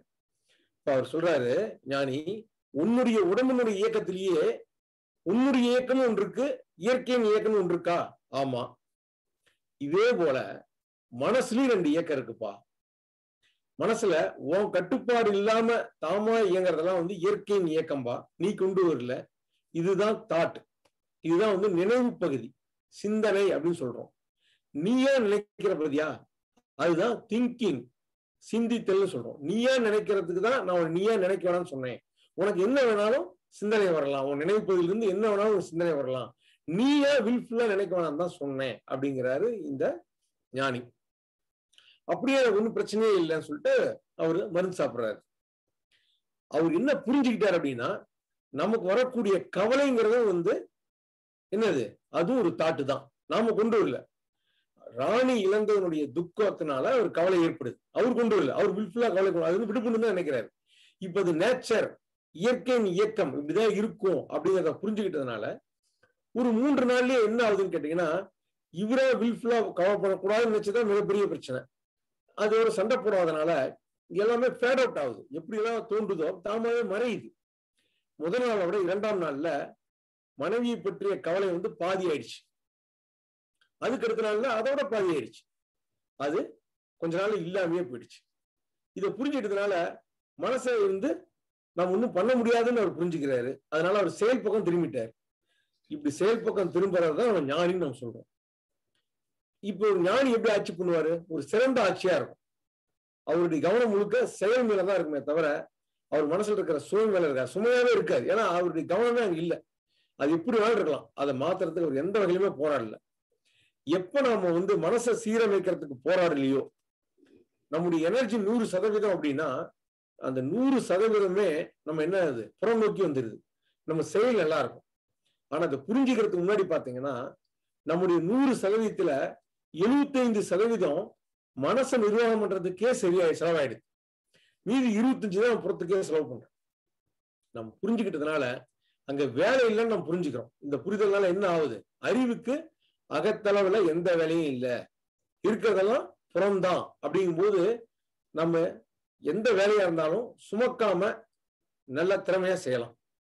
ஒரு வேளை ஞாபகம் வச்சுக்கங்க. அறிவுக்கு புறத்தில் தான் வேலைன்னு சொல்லிட்டோம். சில ஆயின்மெண்ட்ல போட்டிருப்பாங்கல்ல. வெளிப்பூச்சி ஆயின்மெண்ட் போட்டிருப்பாங்க. ஆயின்மெண்ட்ல ஃபார் எக்ஸ்டர்னல் யூஸ் ஒன்லி அப்படின்ட்டு. நாமெல்லாம் என்ன எடுத்துக்கலாம்? அறிவுக்கு வந்து ஃபார் எக்ஸ்டர்னல் யூஸ் ஒன்லின்னு ஒரு சீல் வச்சிருங்க. அறிவுனாவே எக்ஸ்டர்னல் யூஸ்க்கு தான். அறிவை வச்சு மனசுல இருக்கக்கூடிய தாட்டையோ மனசை வந்து வரக்கூடிய ஃபீலிங்கையோ நம்ம ஒண்ணுமே பண்ண முடியாது. அதெல்லாம் நேச்சர்னு எடுத்துக்கலாம். இப்ப எல்லா ஞானிகளுமே பாத்தீங்கன்னா இதை புரிஞ்சுக்கிட்டு தான் அவங்க வந்து ஞானம் அடைஞ்சிருக்காங்க. அவங்க ஏகப்பட்ட போராட்டத்துக்கு இடையில போராடி போராடி தோத்து கடைசியா வந்து அவங்க வந்து இந்த நிலைமைக்கு வந்திருக்கிறாங்க. என்ன புரிஞ்சுட்டாங்கன்னா சிந்தனை தாட் அதை வந்து எப்படி வேணா இருக்கலாம் அது நல்லது கெட்டதுங்கிறதே கிடையாது. சிந்தித்தல் திங்கி நாமளா சிந்தனை பண்றது வந்து நல்லது இருக்கணும் சரியானது இருக்கணும் தேவையானது இருக்கணும். இதை புரிஞ்சுக்கிட்டா மட்டுமே போதும். அவங்க எல்லாம் எவ்வளவோ முயற்சி பண்ணி ரொம்ப போராடி கடைசியா வந்து அகச்சரணாகதிக்கு வந்தாங்க. நம்ம எளிமையா இந்த புரிதல் மூலமா நம்ம அகச்சரணாகதிக்கு வரோம். எப்ப அகச்சரணாகதிக்கு வரமோ அப்பவே நம்ம விடுதலை தான். இது வந்து ரொம்ப சிம்பிளானது தான் சரி இத்தோட என்னுடைய உரையை நான் நிறைவு பண்ணிக்கிறேன் நான். இது சம்பந்தமான கேள்விகள் இருந்தா மட்டும் நீங்க இப்ப கேட்கலாம். ஏன்னா ஒரு பத்து நிமிஷம் ஒரு பத்து நிமிஷம் மட்டும் ஒரு கேள்வி இருந்தா வச்சுக்கலாம். அதுக்கப்புறம் பிரேக் அப்புறம் ஸ்ரீ பகவத்தையா அவங்க வந்து பேசுறாங்க. அந்த சப்ஜெக்ட் கேட்போம் நம்ம ஆனால் ஒரு பத்து நிமிஷம் ஏதாவது கேள்வி இருந்தா நீங்க தாராளமா கேட்கலாம். கேள்வி கேட்க விரும்புறவங்க ஆன்சரிஸ் ஆப்ஷன் யூஸ் பண்ணுங்க. ரமா ராமச்சந்திரன். நான் உங்களை அன்வைட் பண்ணிடுறேங்க அதாவது கேள்விகள் கேட்கணும்னா வாங்க. வணக்கம் சார். வணக்கம். வணக்கம். அது நீங்க சொன்னீங்க இல்லையா குரங்க நினைக்காம இருக்கணும். சப்போஸ் அதை சொல்லாமயே இருந்துட்டாருன்னு வச்சுக்கோங்க. குரங்க நினைக்க வேண்டாம் நீ மருந்து இப்படி மாத்திரம் சாப்பிடு. Is not telling anything அப்போ அவர் நேரம் சாப்பிட்டுருப்பாரு அப்போ? அதாவது இந்த ஞானிகளுடைய நோக்கம் வந்து தாட்னா என்ன திங்கிங்னா என்னன்னு ராஜாவுக்கு புரிய வைக்கணுங்கிறதுக்கு தான். ஓகேங்களா இந்த கான்செப்ட் என்னன்னா தாட்னா என்ன திங்கிங்னா என்ன புரிய வைக்கிறதுக்காக தான் நினைக்க சொல்றாரு அவர். நினைக்க வேணாங்கிறாரு. சரி நீங்க ரியல் லைஃப் ரியல் லைஃப் அப்ளிகேஷன்ல இது இது புரிஞ்சுது எனக்கு. நம்ம. ரியல் லைஃப் அப்ளிகேஷன்ல நம்மளுக்கு வந்து நிறைய தடவை நம்ம கண்ட்ரோல் பண்ண முடியாம தாட்ஸ் வரதான் செய்யுது. ம். அப்புறம் மிக புரியுது நம்ம அதை வந்து எப்படி அப்ளை பண்ணணும்னு. ஆனா நம்மளுக்கு அந்த சமயத்துல அதெல்லாம் தோணுறது இல்ல இது வந்து. அகம் இது புறம்னோ. இது வந்து என்னுடைய கண்ட்ரோல் இல்லாம தான் இது. ஆனா நமக்கு தோன்றது நான் தான் இத பண்ணினேன். இந்த ராஜாக்கு தோன்ற மாதிரி. அப்போ அது வந்து ஒரு ஃபோர்ஸ் ஃபோர்சிபிள் சொல்றது தப்பு. பட். எப்படி ஒரு தீர்மானமா இது என்னுடையது இல்லை? இது வந்து தானாவே வந்தது. இது தானாவே தான் மறையும். அப்படிங்கிற ஒரு அறிவு அங்க வேலை பண்றது இல்லையா. ஆமா அதுதான் உங்களுக்கு சொன்னேன்ல பாத்தீங்களா? ரோஜா பூ நினைக்க சொன்னேன் நீங்க நினைச்சுக்கிட்டீங்க. மறக்கணும்னு சொல்றேன் மறக்க முடியுதா உங்களால? முடியல. அதுதான் நம்ம கண்ட்ரோல் கிடையாது. தாட் நம்ம கண்ட்ரோல் கிடையாது. அதுக்கு ரெஸ்பான்ஸ் எடுக்க வேணாம்னு நம்ம சொல்றோம். நீங்க தாட்டுக்கு ரெஸ்பான்ஸ் எடுக்க வேணாம் அப்படின்னா என்ன அர்த்தம்னா இருந்தா இருந்துட்டு போட்டுன்னு அர்த்தம். நீங்க எடுக்கலாம் உங்களுக்கு விட்டு போயிடும் அர்த்தம் கிடையாது. நம்முடைய வேலை அது சம்பந்தமான புறம் சம்பந்தப்பட்ட வேலை தான். அதனால தாட்டுக்கு ரெஸ்பான்ஸ் எடுக்காம இருக்கிறது தான் நம்ம தெரிஞ்சுக்க வேண்டிய விஷயம். இது அப்ளை பண்றதுக்கு எதுவுமே கிடையாது. தெரிஞ்சுக்கிறதோட நம்ம வேலை முடிஞ்சிருது தெரிஞ்சதை செயல்படுத்த வேண்டிய அவசியம் இல்லை. ஏன்னா நமக்கு இவ்வளவு நாள் வேலை இருந்துச்சு. அதை மாத்தி அமைக்கிற வேலை ஒண்ணு இருந்துச்சு. இப்ப இந்த வேலையில இருந்து விடுபட்டு இருக்கிறோம் அவ்வளவுதான் ஓகேங்க ஓகே சார் தேங்க்யூ ஆ தேங்க்யூ ராஜேஷ் நான் உங்களை அட்மிட் பண்ணிருக்கேன். வாங்க. ராஜேஷ் ஐயா. வணக்கம் சார். வணக்கம். வணக்கம். ஐயா இந்த காலையில இருந்து நான் புதுசா ஜாயின் பண்ண ஒரு குமார் சார் காட்பாடி. அவரு எனக்கு சொன்னாரு. ரொம்ப நல்லா இருந்துச்சு இந்த கேட்கற விஷயங்கள் எல்லாமே. பகவத் ஐயா சொன்னது அப்புறம் ஒரு கண்ணாடி மாளிகை இந்த வேட்டனை பண்ண விஷயங்கள் எல்லாமே அருமையா இருந்தது. என்னதான் இப்ப இது பண்ணாலும் நம்ம மனம் வந்து ஏதாவது ஒரு எது நம்ம நினைக்க வேணானதோ அதை நோக்கி தான் அதிகமா போயிட்டே இருக்குது. அப்போ நீங்க சொல்ற கருத்துக்கள்லாம் வந்து கேட்கறது நல்ல கண்டி மனம் வந்து அந்த நோக்கி வந்து இது விட்டுப்படு விடணும்ன்ற விஷயங்கள் வந்து விட மாட்டேது. கெட்டியா பிடிச்சிக்குது. ஒரு உதாரணத்துக்கு மனங்க மனம் வந்து போற போக்குல வந்து நம்ம விட்டு விட்டுட்டு போயிடணுன்றது கரெக்டா சொல்லிடுறீங்க. ஆனா விடுறதுக்கான வாய்ப்பு இல்லாத போகுது அந்த இடத்துல. எதிர்மறை எண்ணங்கள் தாசி வர வர நமக்கு இப்படி ஆயிடுமோ அப்படி ஆயிடுமோ நமக்கு இந்த சாதாரணமா வேத்து கொட்டினா கூட நம்ம செத்து போயிடுமோ அப்படின்ற மாதிரி எண்ணங்கள் தாசி வந்துட்டே இருக்குது. அப்போ வந்து தூக்கத்தை கெட்டுறோம் தேவையில்லாத மன உளைச்சல் ஆளாக்கி ஒரு செகண்ட் வந்து நம்ம நிலையில இருந்து மாறுறதுக்கு ரொம்ப கஷ்டமாயி போயிடுது அந்த இடத்துல. ஒரு செகண்ட்ல வந்து டக்கு டக்கு டக்கு டக்குன்னு அந்த எண்ணங்கள் வந்து செகண்ட்ஸ்ல வந்து மாறிட்டே இருக்குதுங்க ஐயா அது இல்ல நீங்க சொல்ற பதில நானும் சொல்றேன். விட முடியாதுங்கிறேன் நானு. அதை நீங்க வந்து மாத்தவே முடியாது. ஆமா. இருந்தா எழுந்துட்டு போட்டு விட்டீங்கன்னா அது நிக்காது. ஆமாம் அது பகவதையா சொன்னாரு. நம்ம எதை நோக்கி நம்ம மனம் போயிட்டே இருக்குது அதை நம்ம கட்டுப்படுத்த முடியல அதை விட்டுட்டும் சொன்னாதான் அந்த ஞானம் வரணுன்றதெல்லாம் சொன்னாரு. அதுக்கு இவரு புத்தர் கதை சொன்னாரு வேட்டநாயகர் எல்லாமே இருக்குது ஆனா மனதளவுல வந்து அது ஏத்துக்க முடியாத கண்டி உள்ள அளவுல வந்து அது அந்த பக்குவத்துக்கு வர முடியல. இது இது வந்து கேட்டீங்கன்னா இது உண்மை. உண்மையை நீங்க ஏத்துக்கல அப்படின்னா நம்ம வந்து அது வந்து புரியலன்னு அர்த்தம். நான் என்ன சொல்ல வரேன்னா நீங்க சொல்ற பதிலே தான் சொல்றேன். என்ன நீங்க பண்ணாலும் உங்களை விட்டு போகாது. உங்களால மாத்தவே முடியாது. அந்த இயலாமையை புரிஞ்சுக்கங்கன்னு தான் சொல்றேன் நான். உங்களால முடியாத இயலாமையை புரிஞ்சுக்கிட்டீங்கன்னா தான் அகத்திலான தோல்விங்கிறது இதுதான் எப்ப நீங்க தோல்வியை ஏத்துக்கிட்டீங்களோ அப்பயே அந்த முயற்சியை கைவிடுவீங்க. முயற்சியை கைவிட்டீங்கன்னா விடுதலைங்கிறது தாமா இயங்கும். ஆமா ஆமா. இப்போ எவ்வளவு ஓரளவுக்கு நமக்கு சாட்டிஸ்பேஷன் ஆயிடுச்சு இந்த ப்ரோக்ராம் கேட்க கேட்க விட்டுட்டோன்றது அது அது போற போக்க நம்ம விட்டுட்டோம்னா நமக்கு தேவையில்லாத பிரச்சனைகள் எல்லாமே அது மறந்துடலாம். ஆமா நீங்க என்ன நாளைக்கு ரெண்டு நாள் இருக்கு. நீங்க பாத்தீங்கன்னா நாளைக்கு ஈவினிங் நீங்க உங்க நிலை மாறிடும். நீங்க கண்டிப்பா நீங்க ஓரளவு பரவாயில்ல நல்லதா ஓகே ஓகே. நன்றி ராஜேஷ். முத்து பழனியப்பா. பால்ராஜ் அகைன் வந்திருக்காரு. பால்ராஜ். ஆ ஐயா வணக்கம். ஐயா நான் இப்பதான் ஃபர்ஸ்ட் இது வாட்டி கேட்கறது நான். ரொம்ப இன்ஃபர்மேஷன் இன்ஃபர்மேட்டிவ் ரொம்ப அறிவுபூர்வமா இருக்கு. என்னோட கேள்வி என்னன்னா இப்போ இந்த தாட்டும் திங்கிங்கும் நம்ம அறிவை வச்சுதான் அதை நம்ம ஜட்ஜ் பண்ண முடியுது? ஆமா. இந்த அறிவு தான் வந்து எது தாட்டு எது திங்கிங்ன்ட்டு நம்மள ரெக்கக்னைஸ் பண்ண முடியுது. ஆமா ஆமா. ஆனா இந்த மனசு வந்து டிஃபால்ட்டா இருக்கு நம்ம கிட்டே இருக்கு நீங்க என்ன சொல்ல வரீங்கன்னா இந்த தாட் வரும்போது அந்த தாட்டு பத்தி நினைக்க வேண்டாம். அது டிஃபால்ட்டா வந்துச்சுன்னா அப்படியே விட்டுருங்க. ஆட்டோமேட்டிக்கா அது பாட்டுன்னு வரும் அது பாட்டுன்னு போவோம் எது தேவையோ அப்ப மட்டும் அதை யூஸ் பண்ணிட்டு எது நல்ல விஷயமா யூஸ் பண்ணிட்டு அப்படியே விட்டுருங்க. அந்த தாட் ஏன் வந்து ஏன் வந்து ஆராய்ஞ்சிங்கன்னா பிரச்சனை வரும்னு சொல்ல வரீங்க. கரெக்டுங்களா ஐயா? ஓகே ஐயா நன்றி ஐயா நன்றி. முத்து பழனியப்பா நான் உங்களை அட்மிட் பண்ணிருக்கேன் ஐயா வணக்கம் வாங்க. வணக்கம் ஐயா. வணக்கம் வணக்கம் ஐயா வாங்க வாங்க ஐயா. வீடியோ ஆன் பண்ணுங்களேன். வீடியோ ஆன் பண்ணுங்களேன். வரேன் ஒரு நிமிஷம். நான் லொகேஷன் மாத்திக்கிறேன். அப்படியா? சரி சரி சரி சரி. சேலத்துக்கு வந்துடுறீங்களோ? இல்ல இல்ல இவர் வந்து மதுரை. அதான் முத்துப்பள்ளியப்பா சேலத்துக்கு வந்துடுறீங்களான்னு மதுரை. சேலத்துக்கு வந்துட்டாரு மதுரை மதுரையில எங்க? ம்.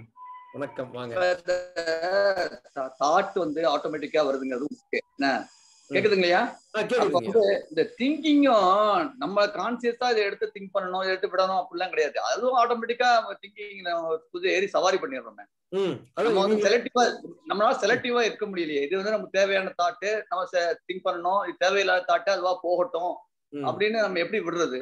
ஆக்சுவலா நம்ம அன்கான்சியஸா நம்மளே வந்து நம்ம அறியாமலே நம்ம எடுத்து திங்க் பண்ண ஆரம்பிச்சிடுறோம். இது எப்படி நம்ம ஜட்ஜ் பண்ணி தேவையான தேவையான தாட்டை மட்டும் எடுத்துக்கிறது தேவையில்லாத தாட்டை விடலாம் அப்படிங்கிறது வந்து கொஞ்சம் சிரமமா இருக்கு. அதாவது நம்ம அன்கான்சியஸ் அன்கான்சியஸா நம்ம வந்து ஏறி சவாரி செய்ய ஆரம்பிக்கிறோம். சவாரி செய்ய ஆரம்பிச்ச நேரம் வச்சுதான் நமக்கு தெரியுது. நம்ம. தேவையில்லாத தாட் மேலே சவாரி செஞ்சுக்கிட்டு இருக்கோம் அப்படின்னு. அது அதனாலதான் அது எப்படின்னு கேக்குறேன். அதான் அன்கான்சியஸா திங்க் பண்றதும் தாட்டு தான் இங்க. சரி. அன்கான்சியஸா நீங்களே திங்க் பண்ணா கூட அதுவும் தாட்டு தான். எப்ப நமக்கு கான்சியஸுக்கு வருதோ அதுக்கப்புறம் தான் திங்கிங்கா மாறுது. அதுக்கு முன்னாடி வரையும் நீங்க தாட்டு தான்.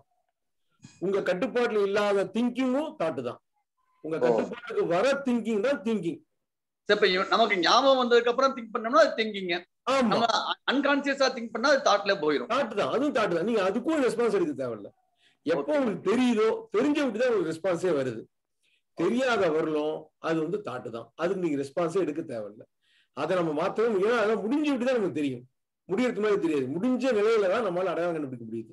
அதனால அதையும் தாட்டா எடுத்துக்கங்க. அதுக்கு நம்ம வேலை இல்லை. நம்மளுடைய லைஃப்ல பாத்தீங்கன்னா தாட்டினுடைய ஆக்குபேஷன் தான் வந்து அதிகமா இருக்கும். திங்கிங் வந்து ரொம்ப கம்மி தான் அதனால திங்கிங் தெரிஞ்ச விட்டு சும்மா இருந்தா போதும். ஓகே நன்றி ஓகே ஓகே நன்றி. சுப்பிரமணியன். ஐயா வணக்கம். வணக்கம். வாங்க. ஐயா நான் சுப்பிரமணியன் பொன்னமராஜில இருந்து பேசுறேன். வணக்கம் ஐயா சொல்லுங்க. ஆமா பெரிய ஞானிகள் வந்து அவங்க இந்த மாதிரி ஒரு சூழ்நிலைக்கு தானே நம்மளை வந்து மனம் போன போக்கில் போகாம நம்ம இருக்கணுங்கிறக்கா தானே தியானம்ங்கிற ஒரு முறையை கொண்டாந்துருக்காங்க. ம். நம்ம அந்த தியானத்தின் மூலமா இந்த மாதிரி தேவையில்லாத சிந்தனைகள் நம்ம மனசுல வர்றதை கண்ட்ரோல் பண்ணலாம்ல. நம்ம தியானம்ங்கிறத வேண்டாங்கிற மாதிரி நான் வந்து நான் வந்து புரிஞ்சிருக்கேன் காலையில இருந்து அப்படி அப்- அப்படித்தானா? அதாங்கய்யா மனம் போன போக்கெல்லாம் போக வேண்டாம்னு யாருக்கு சொல்றாங்க? அறிவுக்கு சொல்றாங்க. மனசு எப்படி வேணாலும் போகட்டும். நீ அதுக்கு பின்னாடி போயிடாத அப்படின்னு அறிவுக்கு. சொல்றாங்க. மனசு எப்படி வேணாலும் போலாம் அறிவு பின்னாடி போயிட்டே இருக்கக்கூடாது. அறிவு போகக்கூடாது. செயல்படணும். அதுதான் மனம் போன போக்கெல்லாம் போக வேண்டாம்ங்கிறது வந்து அறிவுக்கு சொல்லப்பட்ட ஒரு அறிவுரை. அவ்வளவுதான். ரெண்டாவது நீங்க தியானத்தின் மூலமாக மனதை வடிவமைக்கலாம். வடிவமைக்க. முடியாமலாம் போகாது. தியானத்தின் மூலமா வடிவமைக்கலாம். அது எப்படின்னு கேட்டீங்கன்னா நீங்க இயல்பா நம்ம மூச்சு விட்டுட்டு இருக்கோம் பாத்தீங்களா? மூச்சு இழுக்கிறோம் வச்சிருக்கிறோம் வெளியே வர்றோம். இது இயல்பா நடந்துட்டு இருக்கு. உங்ககிட்ட என்ன சொல்றேன்? இழுத்துட்டு ஒரு பத்து செகண்ட் நிறுத்துங்கங்கிறேன் நீங்க மூச்சு இழுக்கிறீங்க பத்து செகண்ட் நிறுத்திட்டு வெளியே வர்றீங்க. எனவே நாம என்ன நினைச்சுக்கிறோம்? மூச்சை என்னுடைய கண்ட்ரோலுக்கு கொண்டு வர முடியுது.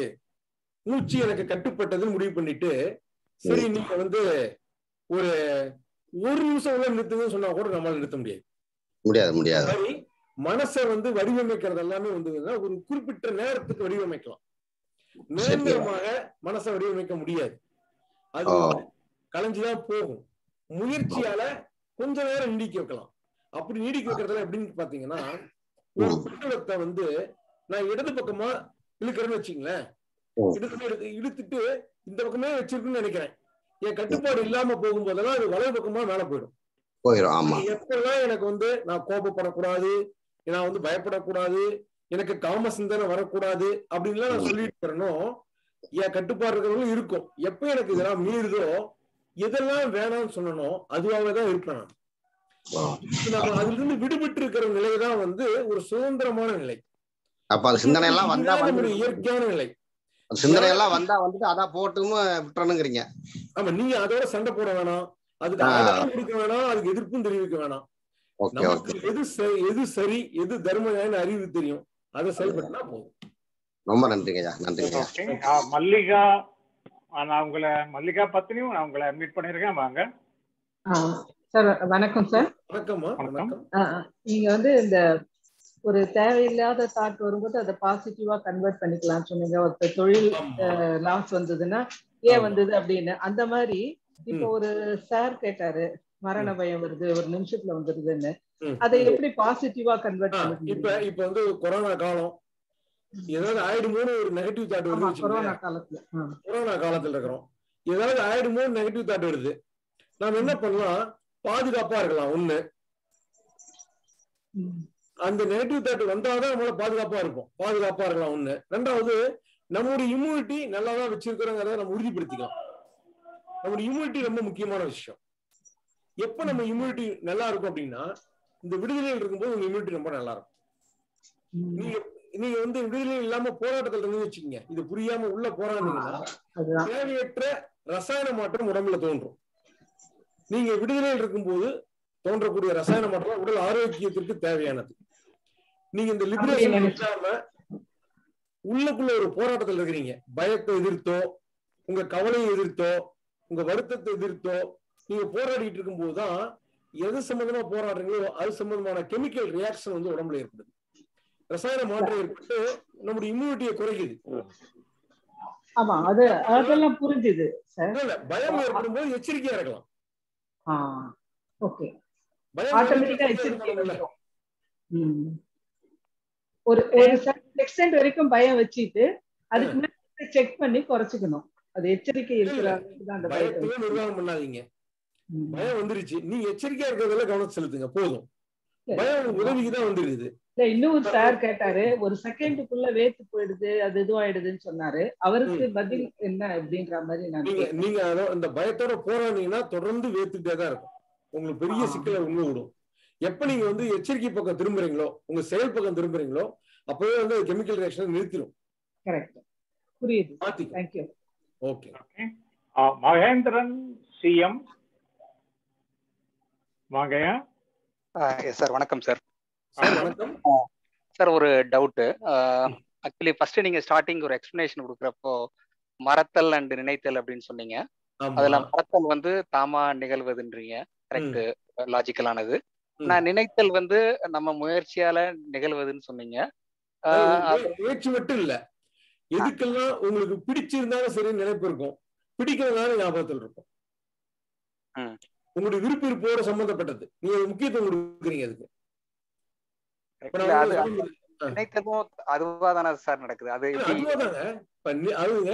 அதுவாதான் வருது. நீங்க முக்கியத்துவம் கொடுத்தனால நினைவு கொண்டு வந்து காட்டிக்கிட்டே இருக்குது உங்களுக்கு. நீங்க முக்கியத்துவம் கொடுத்துட்டீங்க. அவங்க ரொம்ப வேண்டியவரை இழந்துட்டீங்க. அது உங்களுக்கு பெரிய இழப்பா இருக்கு. அது அந்த இழப்பு உங்களால தாங்க முடியல. அது ரொம்ப முக்கியத்துவம் கொடுத்துருக்கீங்க. இந்த மாதிரி நடந்திருக்க கூடாதுன்னு முக்கியத்துவம் கொடுத்துட்டீங்க. ஆமா ஆமா. உங்களுக்கு அடிக்கடி காட்டிக்கிட்டே இருக்கும். அது அப்ப நம்ம என்ன அதை ஒண்ணும் பண்ண முடியாது. அப்ப என்னன்னா இதையும் தாட்டா எடுத்துங்க. உங்களுக்கு ரிப்பீட்டா காட்டுது இல்ல நினைவு. அதை. தாட்டா எடுத்துங்க. சரி சரி. தாட்டு வரக்கூடாதும் போராடுறதும் நான் மறக்கணும்னு நினைக்கிறதும் ஒண்ணுதான். சரி சரி சரி. ஸோ மறத்தலும் நினைத்தலும் ஒரு வகையான தாட் ப்ராசஸ் மாதிரி தான் நம்ம எடுத்துக்கணும். ஆமா கரெக்டா ஆமா ஆமா. Correct okay okay thanks Okay. நன்றி. ஓகே. நன்றி. நன்றி. நிறைவு கிட்டத்தட்ட நம்ம அந்த பதினேழு ஐம்பத்தி நாலு ஆயிடுச்சு நமக்கு டைம் ஆமா. ஸோ இந்த செஷன் ஃபர்தர் ஏதாவது இருக்கா? நீங்க ஏதாவது சொல்ல விரும்புறீங்களா? இல்ல இல்லைங்க. நிறைவு பண்ணிக்கலாம். பிரேக் அப்புறம் ஐயா பேசுவாங்கல்ல. சரி. ஸோ இப்போ வந்து இந்த செஷன்ல ஐயா பேசுனாங்க. ஐ திங்க் எல்லாருக்கும் நல்லா புரிஞ்சிருக்குன்னு நினைக்கிறேன். ஸோ அந்த ஞானி கதையில வந்த ஞானி மாதிரி எல்லாரும் நீங்க அட்லீஸ்ட் பாதி பேராவது ஞானி ஆயிருப்பீங்க. யாரோ ஒருத்தர் நிர்மலா அந்த அம்மா வந்து கரெக்டா சொன்னாங்க. அவங்க ஞானி ஆயிட்டாங்க. சிவராமன் சேத்தராமன் கரெக்டா சொன்னாங்க. ஸோ இல்ல அவங்ககிட்ட பதில் சொன்னதுனால மத்தவங்களும் பாதி ஞானியாவது ஆயிருப்பாங்க. பட் இருந்தாலும் மிச்சம் நிறைய பேருக்கு கேள்விகள் இருக்கும். அந்த கேள்விகள் எல்லாம் ரொட்டி மாதிரி வச்சா வச்சுக்கோங்க. நாளைக்கு ஃபுல்லா அவுத்து விடலாம். நல்ல. சான்ஸ் இருக்கும். காலையிலயும் சரி சாயந்தரமும் சரி வெறும் கேள்வி கணைகள் ஜெட் ராக்கெட் மாதிரி நீங்க விடலாம். இப்போ நம்ம பிரேக் எடுத்துக்குவோம். Five fifty five fifteen minutes six ten ஷார்ப்பா ஏற்கனவே ட்ரெயின் கொஞ்சம் லேட்டா தான் ஓடிட்டு இருக்கு சிக்ஸ் டென்னுக்கு கரெக்டா வந்துருங்க. நம்ம ஷார்ப்பா ஸ்டார்ட் பண்ணிடுவோம். ஓகே. நன்றி. ஸ்டாப் பண்றோம்.